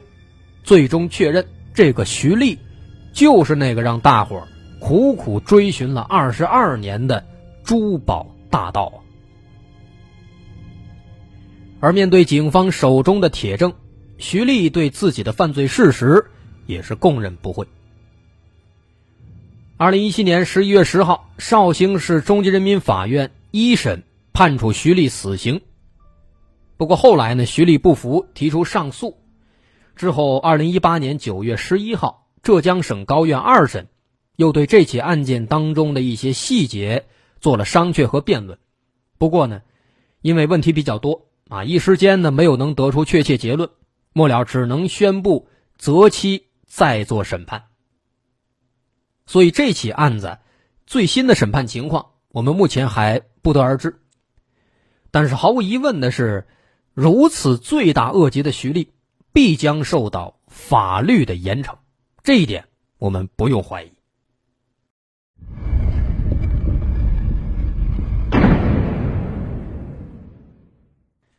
罪大恶极的徐丽终将接受法律的制裁，但他造成的伤害已经难以抹去了。今天的宁波市中山东路一百七十八号，早已经不再是绿洲珠宝行了，倒是在宁波的其他地方。后来出现了两三家新的绿洲珠宝行，也不知道还是不是原来那家。但这起宁波市最大的悬案，却印在了很多人的心里。时隔二十几年，宁波市公安局经历了五任局长，刑侦支队也更迭了四任队长，但大家仍然坚持不懈。二十二年来。专案组每年至少去两次云南边境，就是为了找出枪支来源。还有一次，专案组去浙江商会找线索，但是那边的这个负责人啊不配合，热脸贴冷屁股。警方呢足足拜访了七次，到了第八次，人家终于被打动了，开始积极配合寻找线索。很多类似的情况，在这起案件的侦查过程当中。时有发生，而现在网络发达，因为网络传言的影响，很多朋友都会有一个误区，认为这种已经发生了的立案的命案，都会有一个期限，如果查了好多好多年，期限过了，警方就不再去查了。而我们今天所说的这起案子呢，可以说是一个最好的实例，不要去轻信谣言啊。几十年来，警方的坚持，也使这起案子成为了一起最能彰显警方的能力和毅力的传奇性的案件了。好，这起宁波绿洲珠宝行大劫案到这儿，咱们就说完了。好，咱们下集再见。说年仅二十一岁的女大学生独自开车外出。之后离奇失踪，至今是生是死下落不明。这起事件啊，几乎全程，它都弥漫着一股淡淡的诡异的味道，不论是案发之前还是之后，都伴随着一连串的奇怪、反常、不太好解释的事情。而这起事件或者说这起案子，它真正的高潮，又是在案发八年之后。随着网络上一名神秘的视频 UP 主的出现，无数的阴谋论和猜疑开始井喷式的发生，颇有当年这个黑弥撒和南大幺幺九碎尸案的意思。那么，咱们要说的这起事件的主角，这名女大学生。叫做莫拉莫里，啊，他是二十一岁，正在读大三。在零四年二月九号晚上七点钟左右，这个莫拉独自开车，在美国新罕布什尔州的一百一十二号公路上行驶。当他开到这个一百一十二号公路沿线的一个叫做伍兹维尔的地方的时候啊，不小心发生了车祸。可能开车没好好看啊，伴随着一声巨响，这车子撞到了公路边的这个围栏木桩上，车头直接变形了，那肯定是开不了了。那当时事发之后不久啊，住在周边的有这个热心群众就帮忙给报了警，但是警方在赶到现场之后呢，却发现在现场只剩下这辆被撞坏的车子。那开车的莫拉，这时候已经不见了。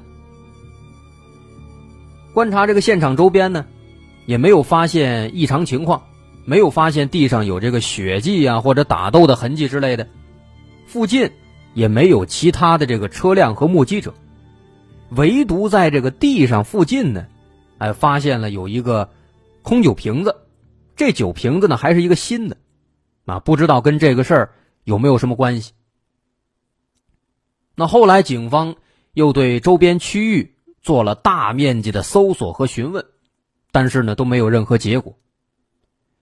直到再往后，事发第三天，因为始终都没有这个莫拉的音讯和线索，那么警方只能够把他列为失踪人员。截止目前，已经十多年过去了，这个莫拉是生是死，仍然还不知晓。不过在这儿呢，咱们需要说的是啊，在警方当时赶到这个事故现场之前，还有这么几个需要注意的细节。首先，在当天晚上七点左右，也就是这事发的前后那段时间，当时呢，这个伍兹维尔村啊这儿的某一位住户，当时就曾经听到过，在这个路上幺幺二公路上传来了一声巨响。那么这声巨响，根据这个时间判断，我们应该能猜出来，他应该就是当时莫拉撞上木桩出了车祸了。但是呢，当时啊，因为这名住户他所住的这个房子，并不能够直接看到那个事故现场。但是呢，他又不想出门，又担心真的是出现什么事故了，所以再三思考之后，这名住户就在七点二十分左右报了警。所以警方才得知了这起事故，这才赶到现场。哎，那个报警的热心住户就是这个人。说当时这起事故发生之后没多久呢，有一个校车司机，啊，开着校车路过了这个事故现场。那当时这个校车司机就看到，这个事故车辆旁边站着一个年轻女性。这名年轻女性通过校车司机的这个描述呢，可以判断就是莫拉。这校车司机看到莫拉没有受伤，而且情绪比较稳定，身上呢也没有酒味啊，应该也不是酒驾，所以当时他就问他说：“你需要帮助吗？”但是莫拉拒绝了，并且莫拉说已经向保险公司报案了，稍后保险公司就会来处理。这这个校车司机一听，哦，那就行，他就离开了，就没管。不过呀，这校车司机开车回到家之后呢，突然就想到，他天天开车在这走，啊，那个路段呢，手机没有信号，但那个女的她又说跟保险公司报案了，所以这个校车司机啊就感到很奇怪。那感到奇怪之余呢，他就也给警方打了一个电话，也报了一个警，希望警方过去看一看那个女的，没准需要帮助。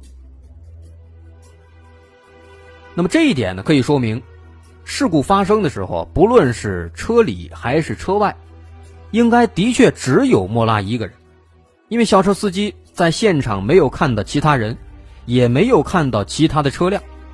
之后警方过来呢，现场也没有看到其他人的一些比较明显的痕迹。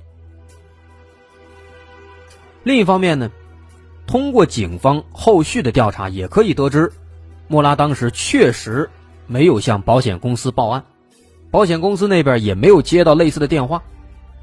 那么也就是说呢，莫拉当时他其实是欺骗了那个轿车司机，并且故意拒绝了对方的帮助。那么这个莫拉他这么做的目的是什么呢？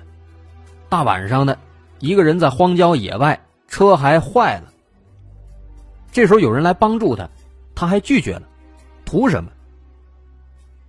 所以从这么几点来看的话，这个莫拉的行为很奇怪，很像是自己就想让自己失踪，啊，虽然这样说起来的话感到很荒谬，但是这个事情呢，好像现在看来确实是这样的。另外呢，警方当时赶到之后啊，发现这个事故车辆已经被锁上了，这说明当时莫拉离开的时候肯定是有所准备的，把车锁了才走的。而且车里面当然是空无一人。后来警方这边确认了这个车主的身份是莫拉之后，又检查了车内的这个私人物品。那结合之后莫拉的舍友提供的情况，发现在这个车里面呢，剩下的物品还有莫拉的衣服、莫拉的洗漱用品、避孕药、学校的课本，还有这些东西，唯独他的手机和信用卡不见了。啊，这可以推测应该是莫拉在离开的时候给拿走了。所以根据这个情况呢，车内上锁，换洗衣物、洗漱用品、课本等等都还留在车上。那么由此我们可以猜测，莫拉当时离开很可能只是选择暂时离开，啊，他可能是去附近寻求帮助了。所以说。就只带了这个必备的手机，还有信用卡。但问题在于，为什么他一去不回头呢？前面提到了，警方对现场做了勘查，没有发现可疑痕迹，唯独发现了一个空酒瓶但是刚也说了，校车司机又表示，莫拉当时身上没有酒味应该没有喝酒。那么根据这一点呢，后来有人推测呀。说这个莫拉呢，可能是在校车司机离开之后啊，打算报警求助，但是一打手机发现没信号，于是呢没办法了，他就喝了一瓶酒壮胆儿，然后自己徒步往附近走，看看能不能得到一些帮助。但是呢不小心可能在周边的森林里边迷路了，就再也没能出来。啊，这个推测呢听起来合理，但是问题在于啊，后来警方。对周边的这个树林啊、森林啊、住户啊，都做了大面积的搜索排查，可是没有任何线索，没有什么痕迹。所以由此，我们其实也有理由推测，也许是这个莫拉他当时在离开之后呢，遇到了某些麻烦，啊，导致他无法再返回这个事发地。但是他遇到了什么麻烦？我们现在是不得而知的。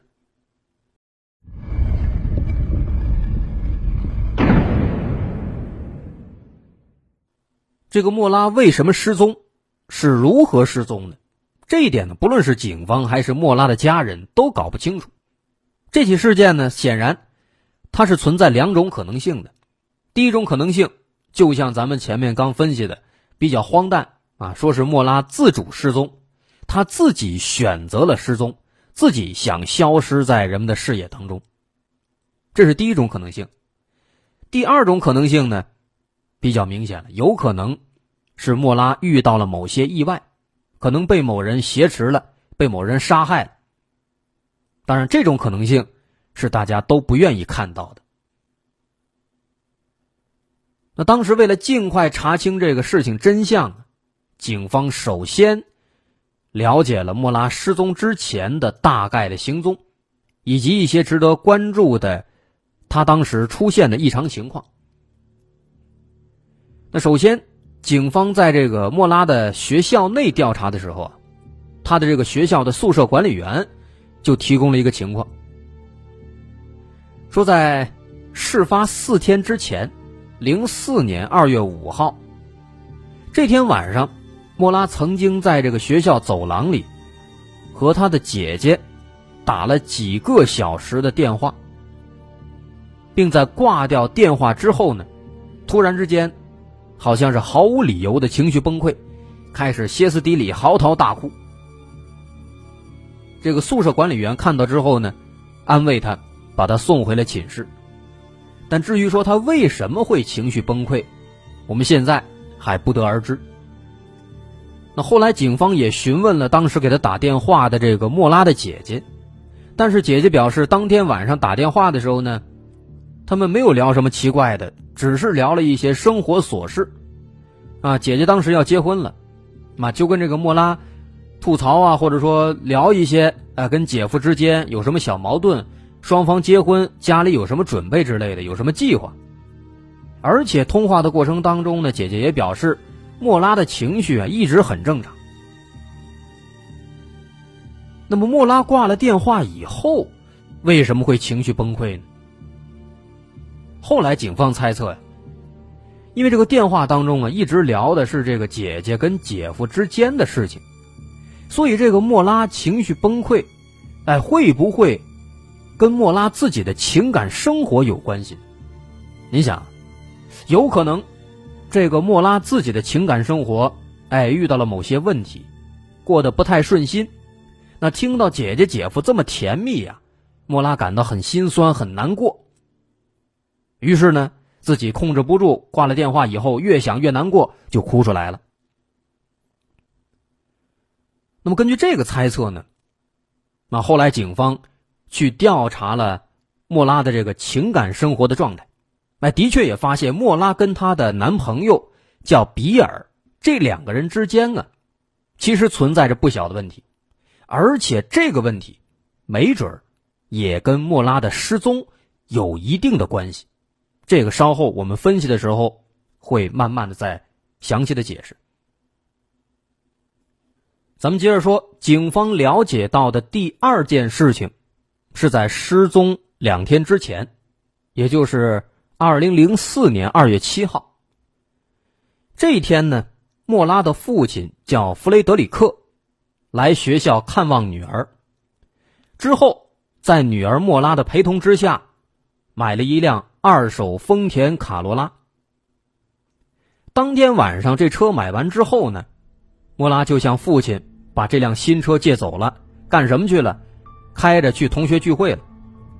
那当天晚上聚会结束以后，已经是二月八号凌晨了，但是呢，他仍然想独自开车返回父亲租住的酒店，把车给父亲送回去。但是呢，果不其然。在这个半路上啊，莫拉开着车就发生了事故。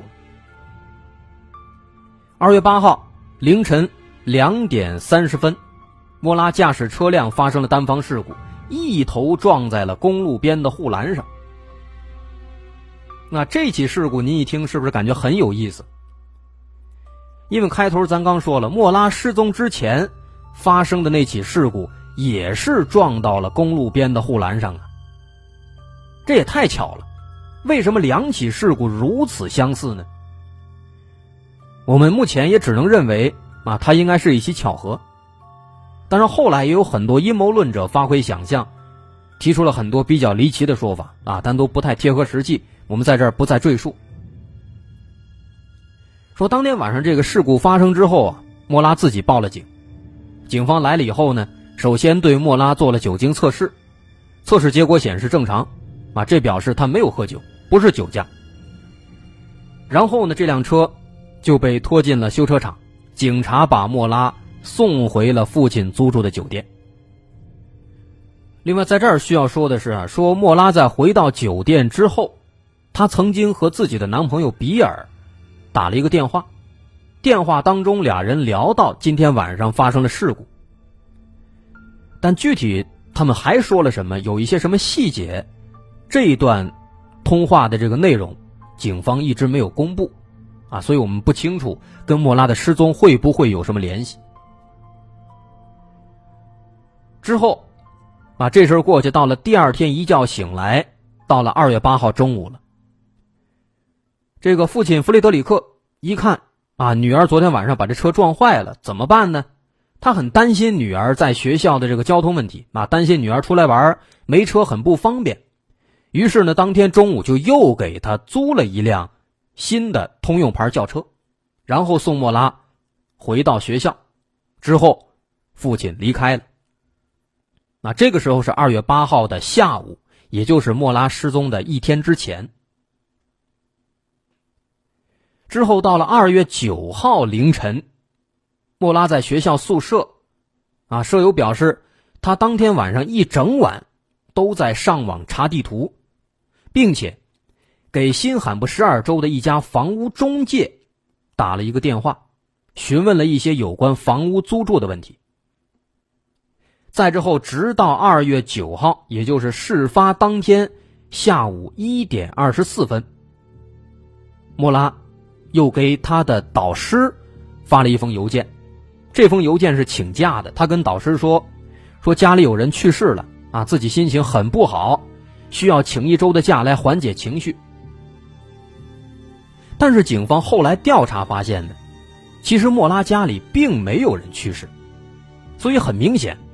莫拉撒了谎。请完假之后，莫拉开始回宿舍收拾行李，啊，装了这个衣服、洗漱用品、大学课本，还有一些避孕药，也就是后来警方在他的车上哎发现的那些东西。再之后呢，在下午三点三十分左右，他开车离开了学校。那之后，警方根据他开车。离开的这个路线啊，调取了这个时间段之内学校外面一些路口的这个监控录像，然后就发现，在三点四十的时候，莫拉曾经在学校附近的这个 ATM 机上取过钱。那后来查了查，他的卡里当时一共啊就只有二百八十美元，一次性被他全部取走。再之后呢？莫拉又在附近的一家商店里买了四十美元的各式各样的酒。啊，这一点就跟前面咱们提到的在案发现场发现的那个空酒瓶这就对应上了。那后来调查显示呢，那个空酒瓶的确也是莫拉当时买的那些酒之一。啊，另外呢，需要强调的一点是，所有的监控。啊，拍下的这个视频都显示，莫拉当时的确是只有一个人在行动的，不论是在车上还是下车取钱买酒。那再之后，时间来到三点五十分，看到莫拉开车上了学校附近的九十一号公路，之后又转到了一百一十二号公路。那再往后呢，就到了晚上七点多。在位于莫拉的学校以北一百四十五公里的新罕布什尔州的伍兹维尔，莫拉开车发生了车祸，自此音信全无。那这就是莫拉在失踪之前他的一个大概的时间线了。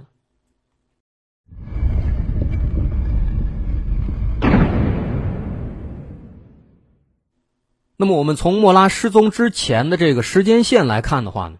的确有一些地方啊不太符合常理。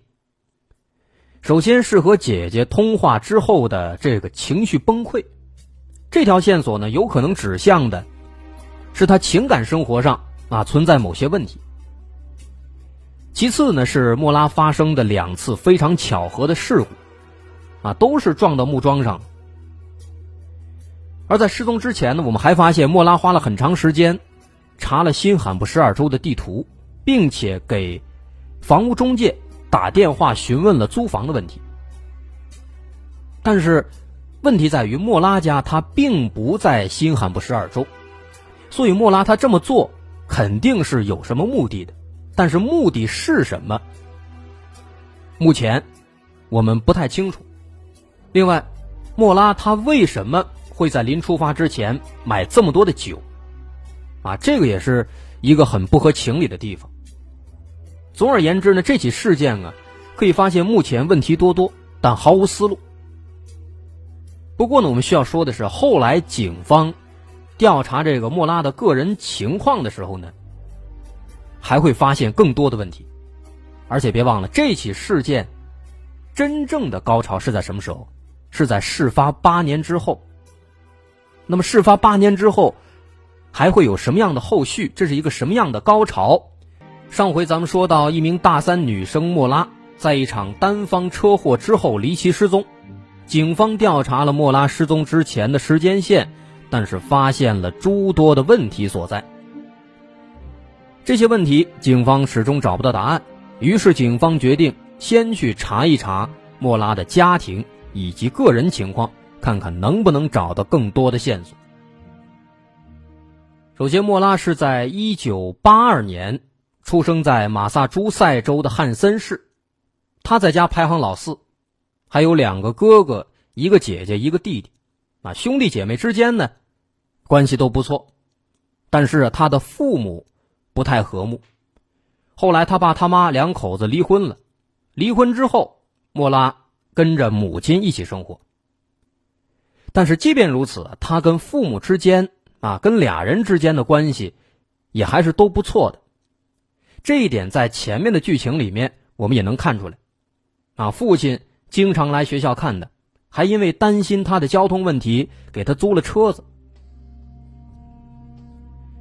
那在校期间呢，莫拉的学习成绩也一直还不错，尤其是在高中时期，不光是这个成绩好，还因为身体素质好，加入了学校的田径队。甚至后来呢，还成为了主力队员之一。后来高中毕业了，莫拉到了美国军事学院学了三个学期的化学工程。那需要说的是，在这段时间当中，莫拉在这儿遇到了自己的男朋友，也就是前面咱们提到的那个比尔。两个人迅速的坠入爱河，并且确定了情侣关系。但是之后没多久。莫拉就因为这个家庭原因，又转学到了马萨诸塞州的阿姆斯特大学，也就是事发的时候，莫拉正在上的那个学校。那来到这所大学之后啊，可能也正是因为在高中田径队的那段经历吧，啊，在这个阿姆斯特大学期间呢，莫拉也加入了校田径队。但这个时候的田径队啊，似乎就没有那么美好了。莫拉的生活方面开始出现了一些问题。首先，在失踪之前的三个月，莫拉曾经因为盗刷他人信用卡被短暂拘留过。这条犯罪记录很奇怪，包括他的家人也始终无法理解他这么做的原因。莫拉的家庭并不贫穷，所以说我们很难想象他这样做是出于什么样的动机。后来莫拉失踪之后，警方也对这条犯罪记录做了重新的调查，但是呢，据说并没有发现什么新的疑点。另外，除开这条说不清的犯罪记录，莫拉的情感方面也开始出现了很多的问题。在莫拉转学之后，虽然是异地，但这个时候呢，莫拉和男朋友比尔仍然处于交往的状态。但同时更要命的是，这个莫拉呀，他和大学田径队的一个助教又勾搭上了，脚踩两只船。这个情况呢，当然就引起了警方的注意。作为女主的莫拉啊，现在人间蒸发了，那么她的失踪会不会跟她脚踩两只船这个事儿是有所关联的呢？这的确也是有可能的。如果说莫拉他的保密工作没有做好，那么这两只船互相知道了对方存在，那必然也是会引起矛盾的呀。于是呢，警方首先就对这个田径队的这个助教啊，那个出轨对象展开了询问。但是不问不要紧啊，这一问，更多的料给爆出来了。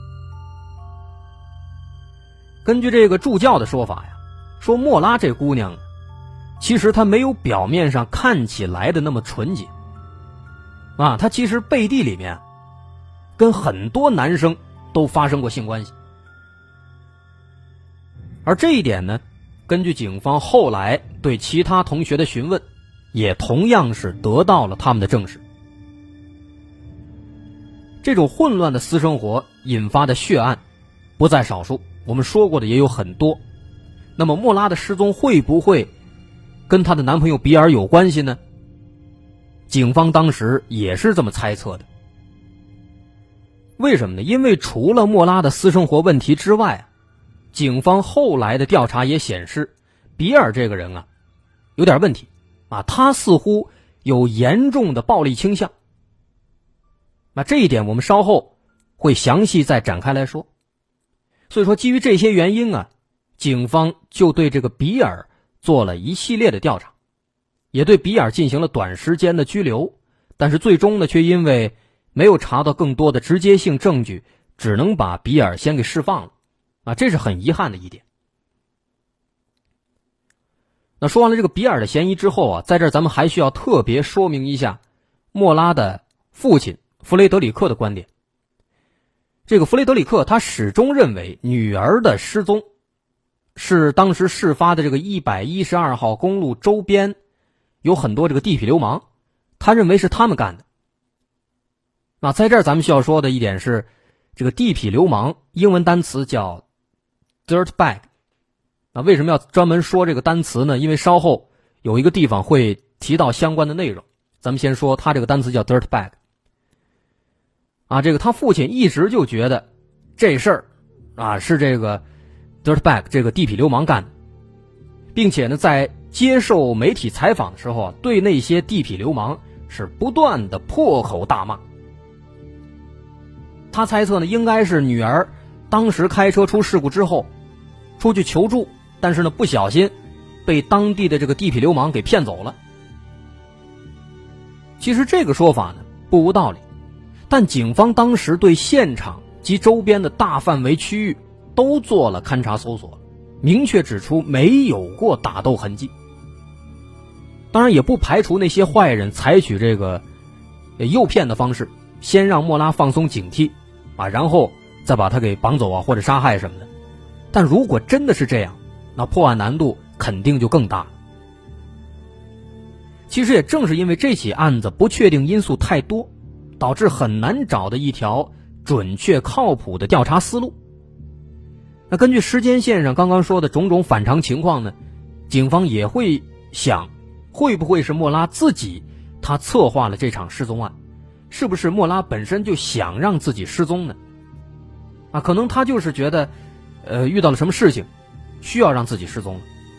当然，莫拉的家人肯定是无法认同这一点，尤其是莫拉的父亲弗雷德里克。他觉得警方提出这种说法呀，就是在消极怠工，就是不想干活。所以后来呢，弗雷德里克多次在媒体上啊表达对当地警方的不满。那么这些行为，其实也就导致了弗雷德里克和警方之间的矛盾，进而啊也影响了警方对案件的进一步的调查。那么一来二去，随着异常情况逐步增多。这起案子呢，慢慢的也就成为了一起悬案了，始终都没有结果。这案子这么一放，就放了八年，直到案发八年之后，在著名的这个国外视频网站油管 YouTube 上面出现了一个诡异的视频，因为这段视频，大众的视线又再一次回到了这起案子上。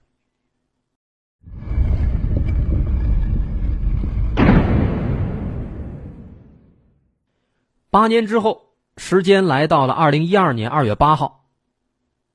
在这一天，YouTube 上面有一个昵称叫做 Mr. One Hundred Twelve Dirtbag，啊，有这样的昵称的一个用户，他上传了一段诡异的视频。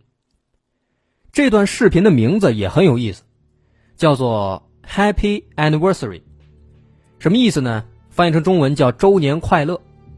但是啊，这个视频的内容和这个标题这名字严重不符。视频全长一分零二秒，没有任何实质性的内容。拍的是什么呢？是一个戴眼镜的一个男人的上半身。这个男人，他是坐在一个很阴暗的房间里面，通过他的这个眼镜的反光，能看到他面前有一台电脑。他在那坐着，全程呢也没有任何动作，就只是一直在非常猥琐的笑，越笑越大声，最后笑完了。视频还打了一个字幕，写着 “Happy Anniversary”，周年快乐。奇怪的是，这段视频在上传了短短几个小时之后，就被它的作者下架了。啊，也就是那个叫 Mr. One Hundred Twelve Dirtbag 被那个用户给删除了。幸好当时啊，有一些网友及时下载了这个视频，留下了一个备份。才让这段视频后来得以传播出去。这段视频呢，的确，如果你仔细看的话，是有点这个细思极恐的意思，啊，咱们现在也很容易找这段视频。说这段视频当时刚发的时候，其实没有什么人关注，因为它确实很普通啊，不过就是一个看起来挺猥琐、上了年纪的一个男子在哈哈哈的大笑。直到说后来呢，有一些了解。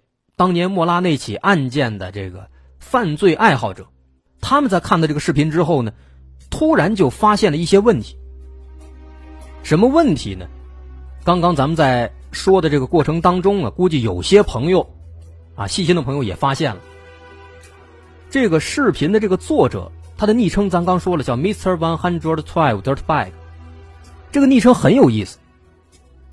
我们回忆一下莫拉这起案子的案情。是不是能发现他这个昵称有点熟悉啊？没错，这个昵称里面的这个 one hundred twelve 一百一十二，很有可能就是代表了莫拉失踪的那个一百一十二号公路。而后面的这个 dirt bag 这个单词，正是当年莫拉的父亲接受采访的时候不断的说到的，我们刚刚特地点出的那个单词 dirt bag。啊，他翻译成中文就是“地痞流氓”的意思。那当时莫拉的父亲认为是这个地痞流氓把女儿给拐走了，让女儿遇害了。所以这个用户啊，他这个名字组合起来，Mr. One Hundred Twelve Dirtbag，他的意思就是一百一十二流氓先生。那么看到这个意思，是不是就有点让人感觉汗毛直立了呢？我们可以想象，这个昵称它绝对不是一个偶然。毕竟，如果说啊是随便取名字，正好就取了这么一个跟这莫拉的案子能对应的昵称，这概率太小了，几乎不存在。再一点，这段视频的上传时间是二零一二年二月八号，这个时间再往后一天，二月九号，就是莫拉失踪整整八周年的日子。然后我们再看看这段视频的名字，刚咱们也说了，Happy Anniversary，周年快乐。这很难不让人把他和这起案子联系到一起。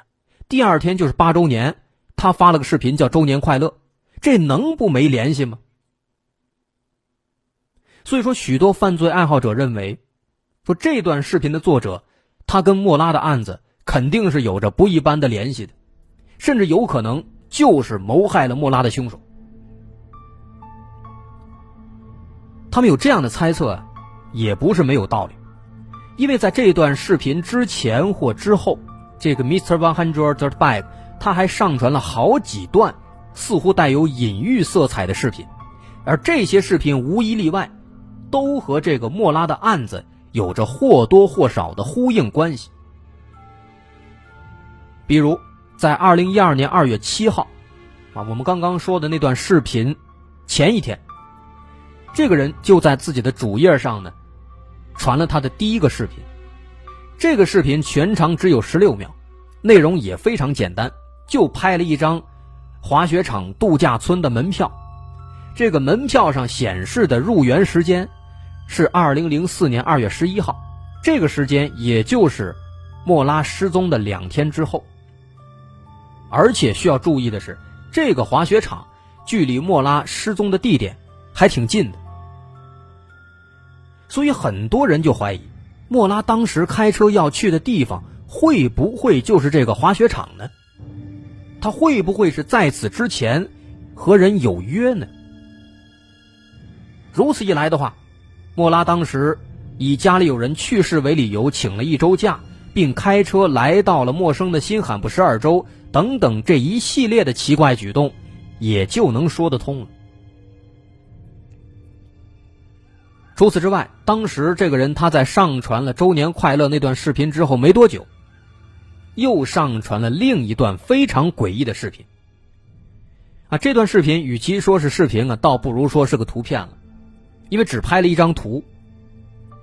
这个图右侧右半边是一个用蜡笔或者用水彩笔画的一个人脸，这人脸画的挺夸张的，就像是小孩画的那种画那样的感觉。那这个图的左侧呢，是一个不规则的红色图形。这个图形大体上看起来啊，像一个字母 Z。图形四个角上分别有四个数字，分别是一、五、八、二十七。那这个图它是什么意思呢？在这儿咱们要介绍一个在美国当时比较出名的犯罪小说作家，叫詹姆斯·雷纳。啊，詹姆斯·雷纳他也是。莫拉这个案子的铁杆粉丝了，因为这个案子确实有很多这个诡异悬疑的成分啊，他非常关注，多年来一直在研究这个案子。这詹姆斯呢，当时他就研究了这个视频里的这个图，他从这个自己这个犯罪小说作家的角度做了一番推理。他认为这个图左边、右边这两部分呢，应该是对应着地图上的某些东西。啊，他觉得这个四个数字啊，尤其是这四个数字，应该是对应着某些坐标。他尝试了很多方法，其中有一种方法看起来比较靠谱。他把这个图呢放到滑雪场的地图上进行对应，还能发现确实有那么几个点啊，跟那个不规则的像 Z 的红色图形能够重合。那后来有些人还真的。就去这几个点去实地查看了，在滑雪场里边做了很细致的地毯搜索，但是呢，也没有什么收获。就说除了这些视频之外呢，这个 Mr. One Hundred Twelve Dirt Bag 啊，他还上传了一些其他的不明所以的自拍视频，但这些视频啊，大多应该没有什么意义，或者看上去呢很古怪，跟神经病似的。比如说有一个视频，还是那个男的，他戴了一个墨镜。然后手里呢拿了一个红不拉几的，应该是一个硅胶做的小玩具，然后一本正经的说啊，说自己在一九七四年之前啊曾经是一名侦探，然后巴拉巴拉又扯了一堆这有的没的前后话不搭边的一些一些话，啊跟他手里这玩具呢也没什么关系。再比如呢，还有一些视频里面，他戴了一个帽子，然后呢用这个电子琴弹一些带有宗教色彩的一些音乐，也不说话。不知道是要干嘛。总而言之呢，一句话概括，他这些视频啊，看起来都是很奇怪、非常诡异，让人不明所以。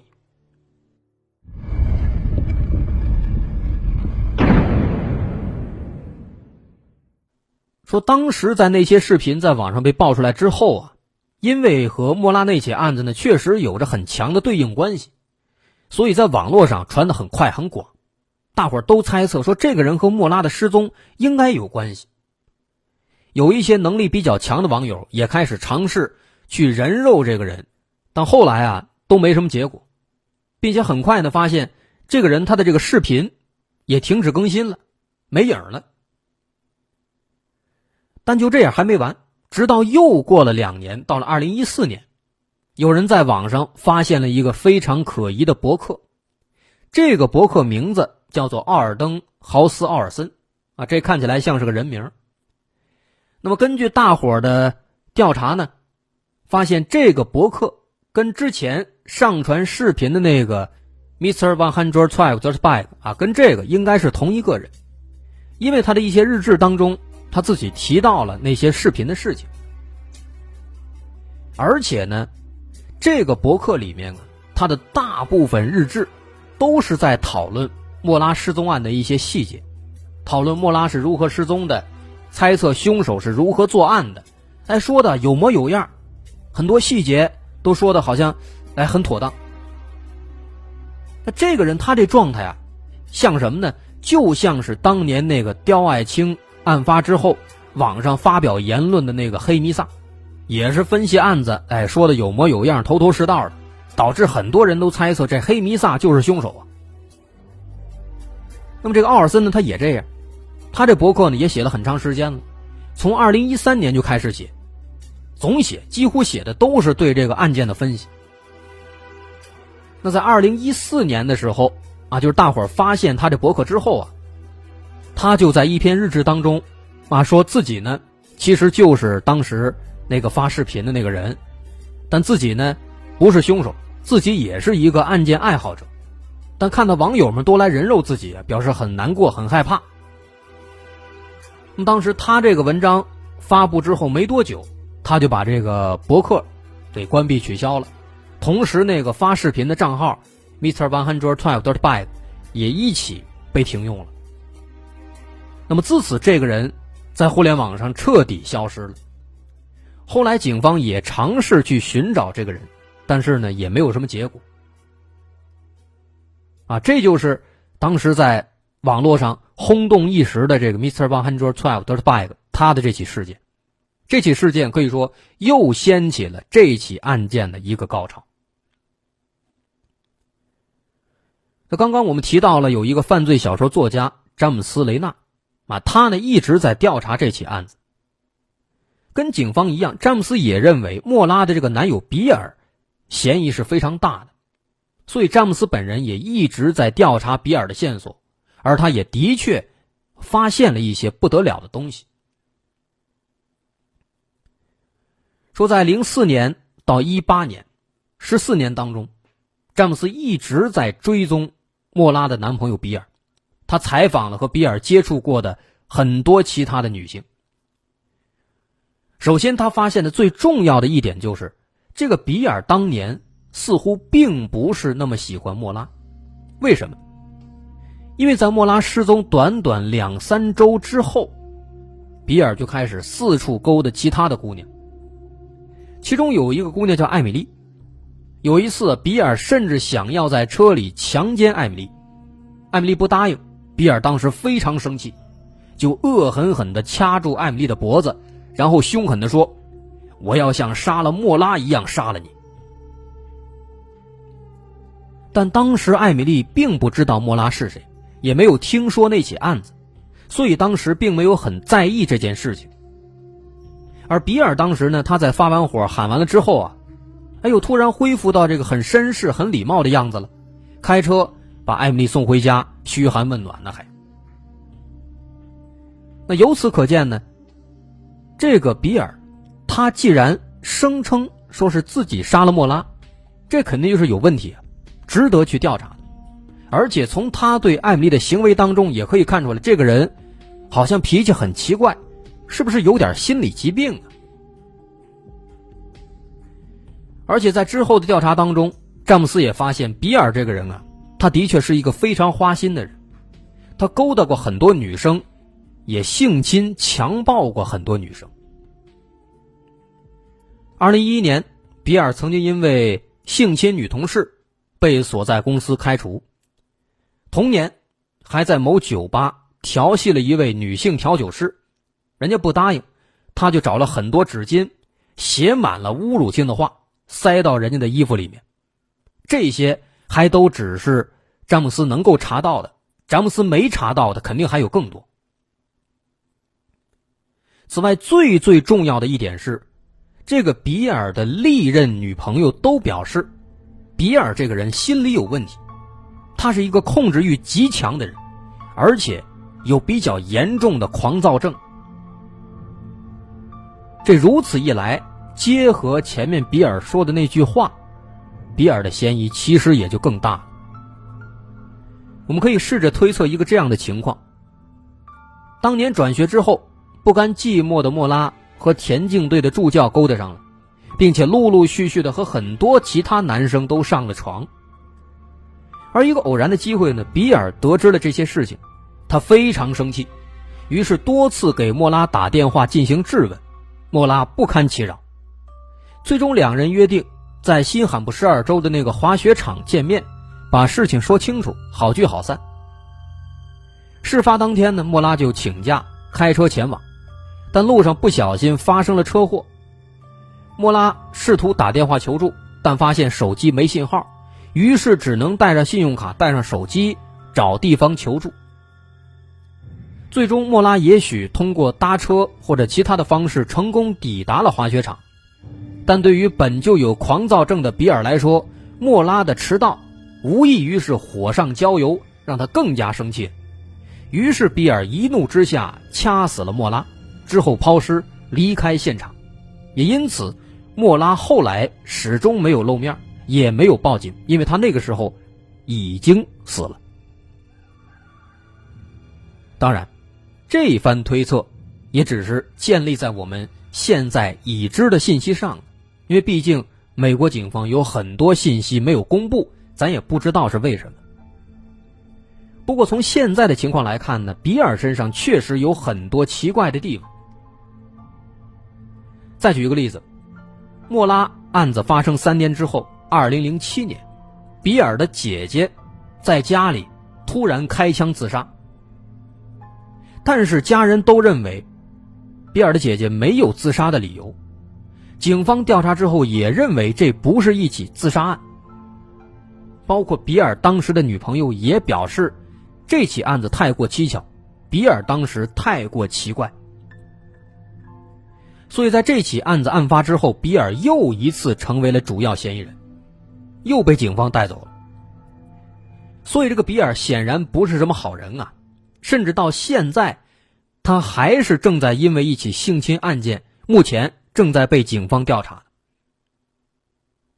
也正是因为这些原因，对于当年莫拉失踪的案子，始终没有办法对比尔做更详细的调查，因为比尔身上案底太多了，这儿没查完，那儿又叫走了。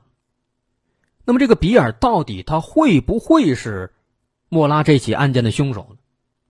也许不久之后，我们能够得到答案。那么到这儿，这起案子我们就算是说完了。其实，在后面呢，还有一些案件的花絮，当然也有可能它是属于阴谋论的成分，可信度呢，我们也不太清楚，不敢多说。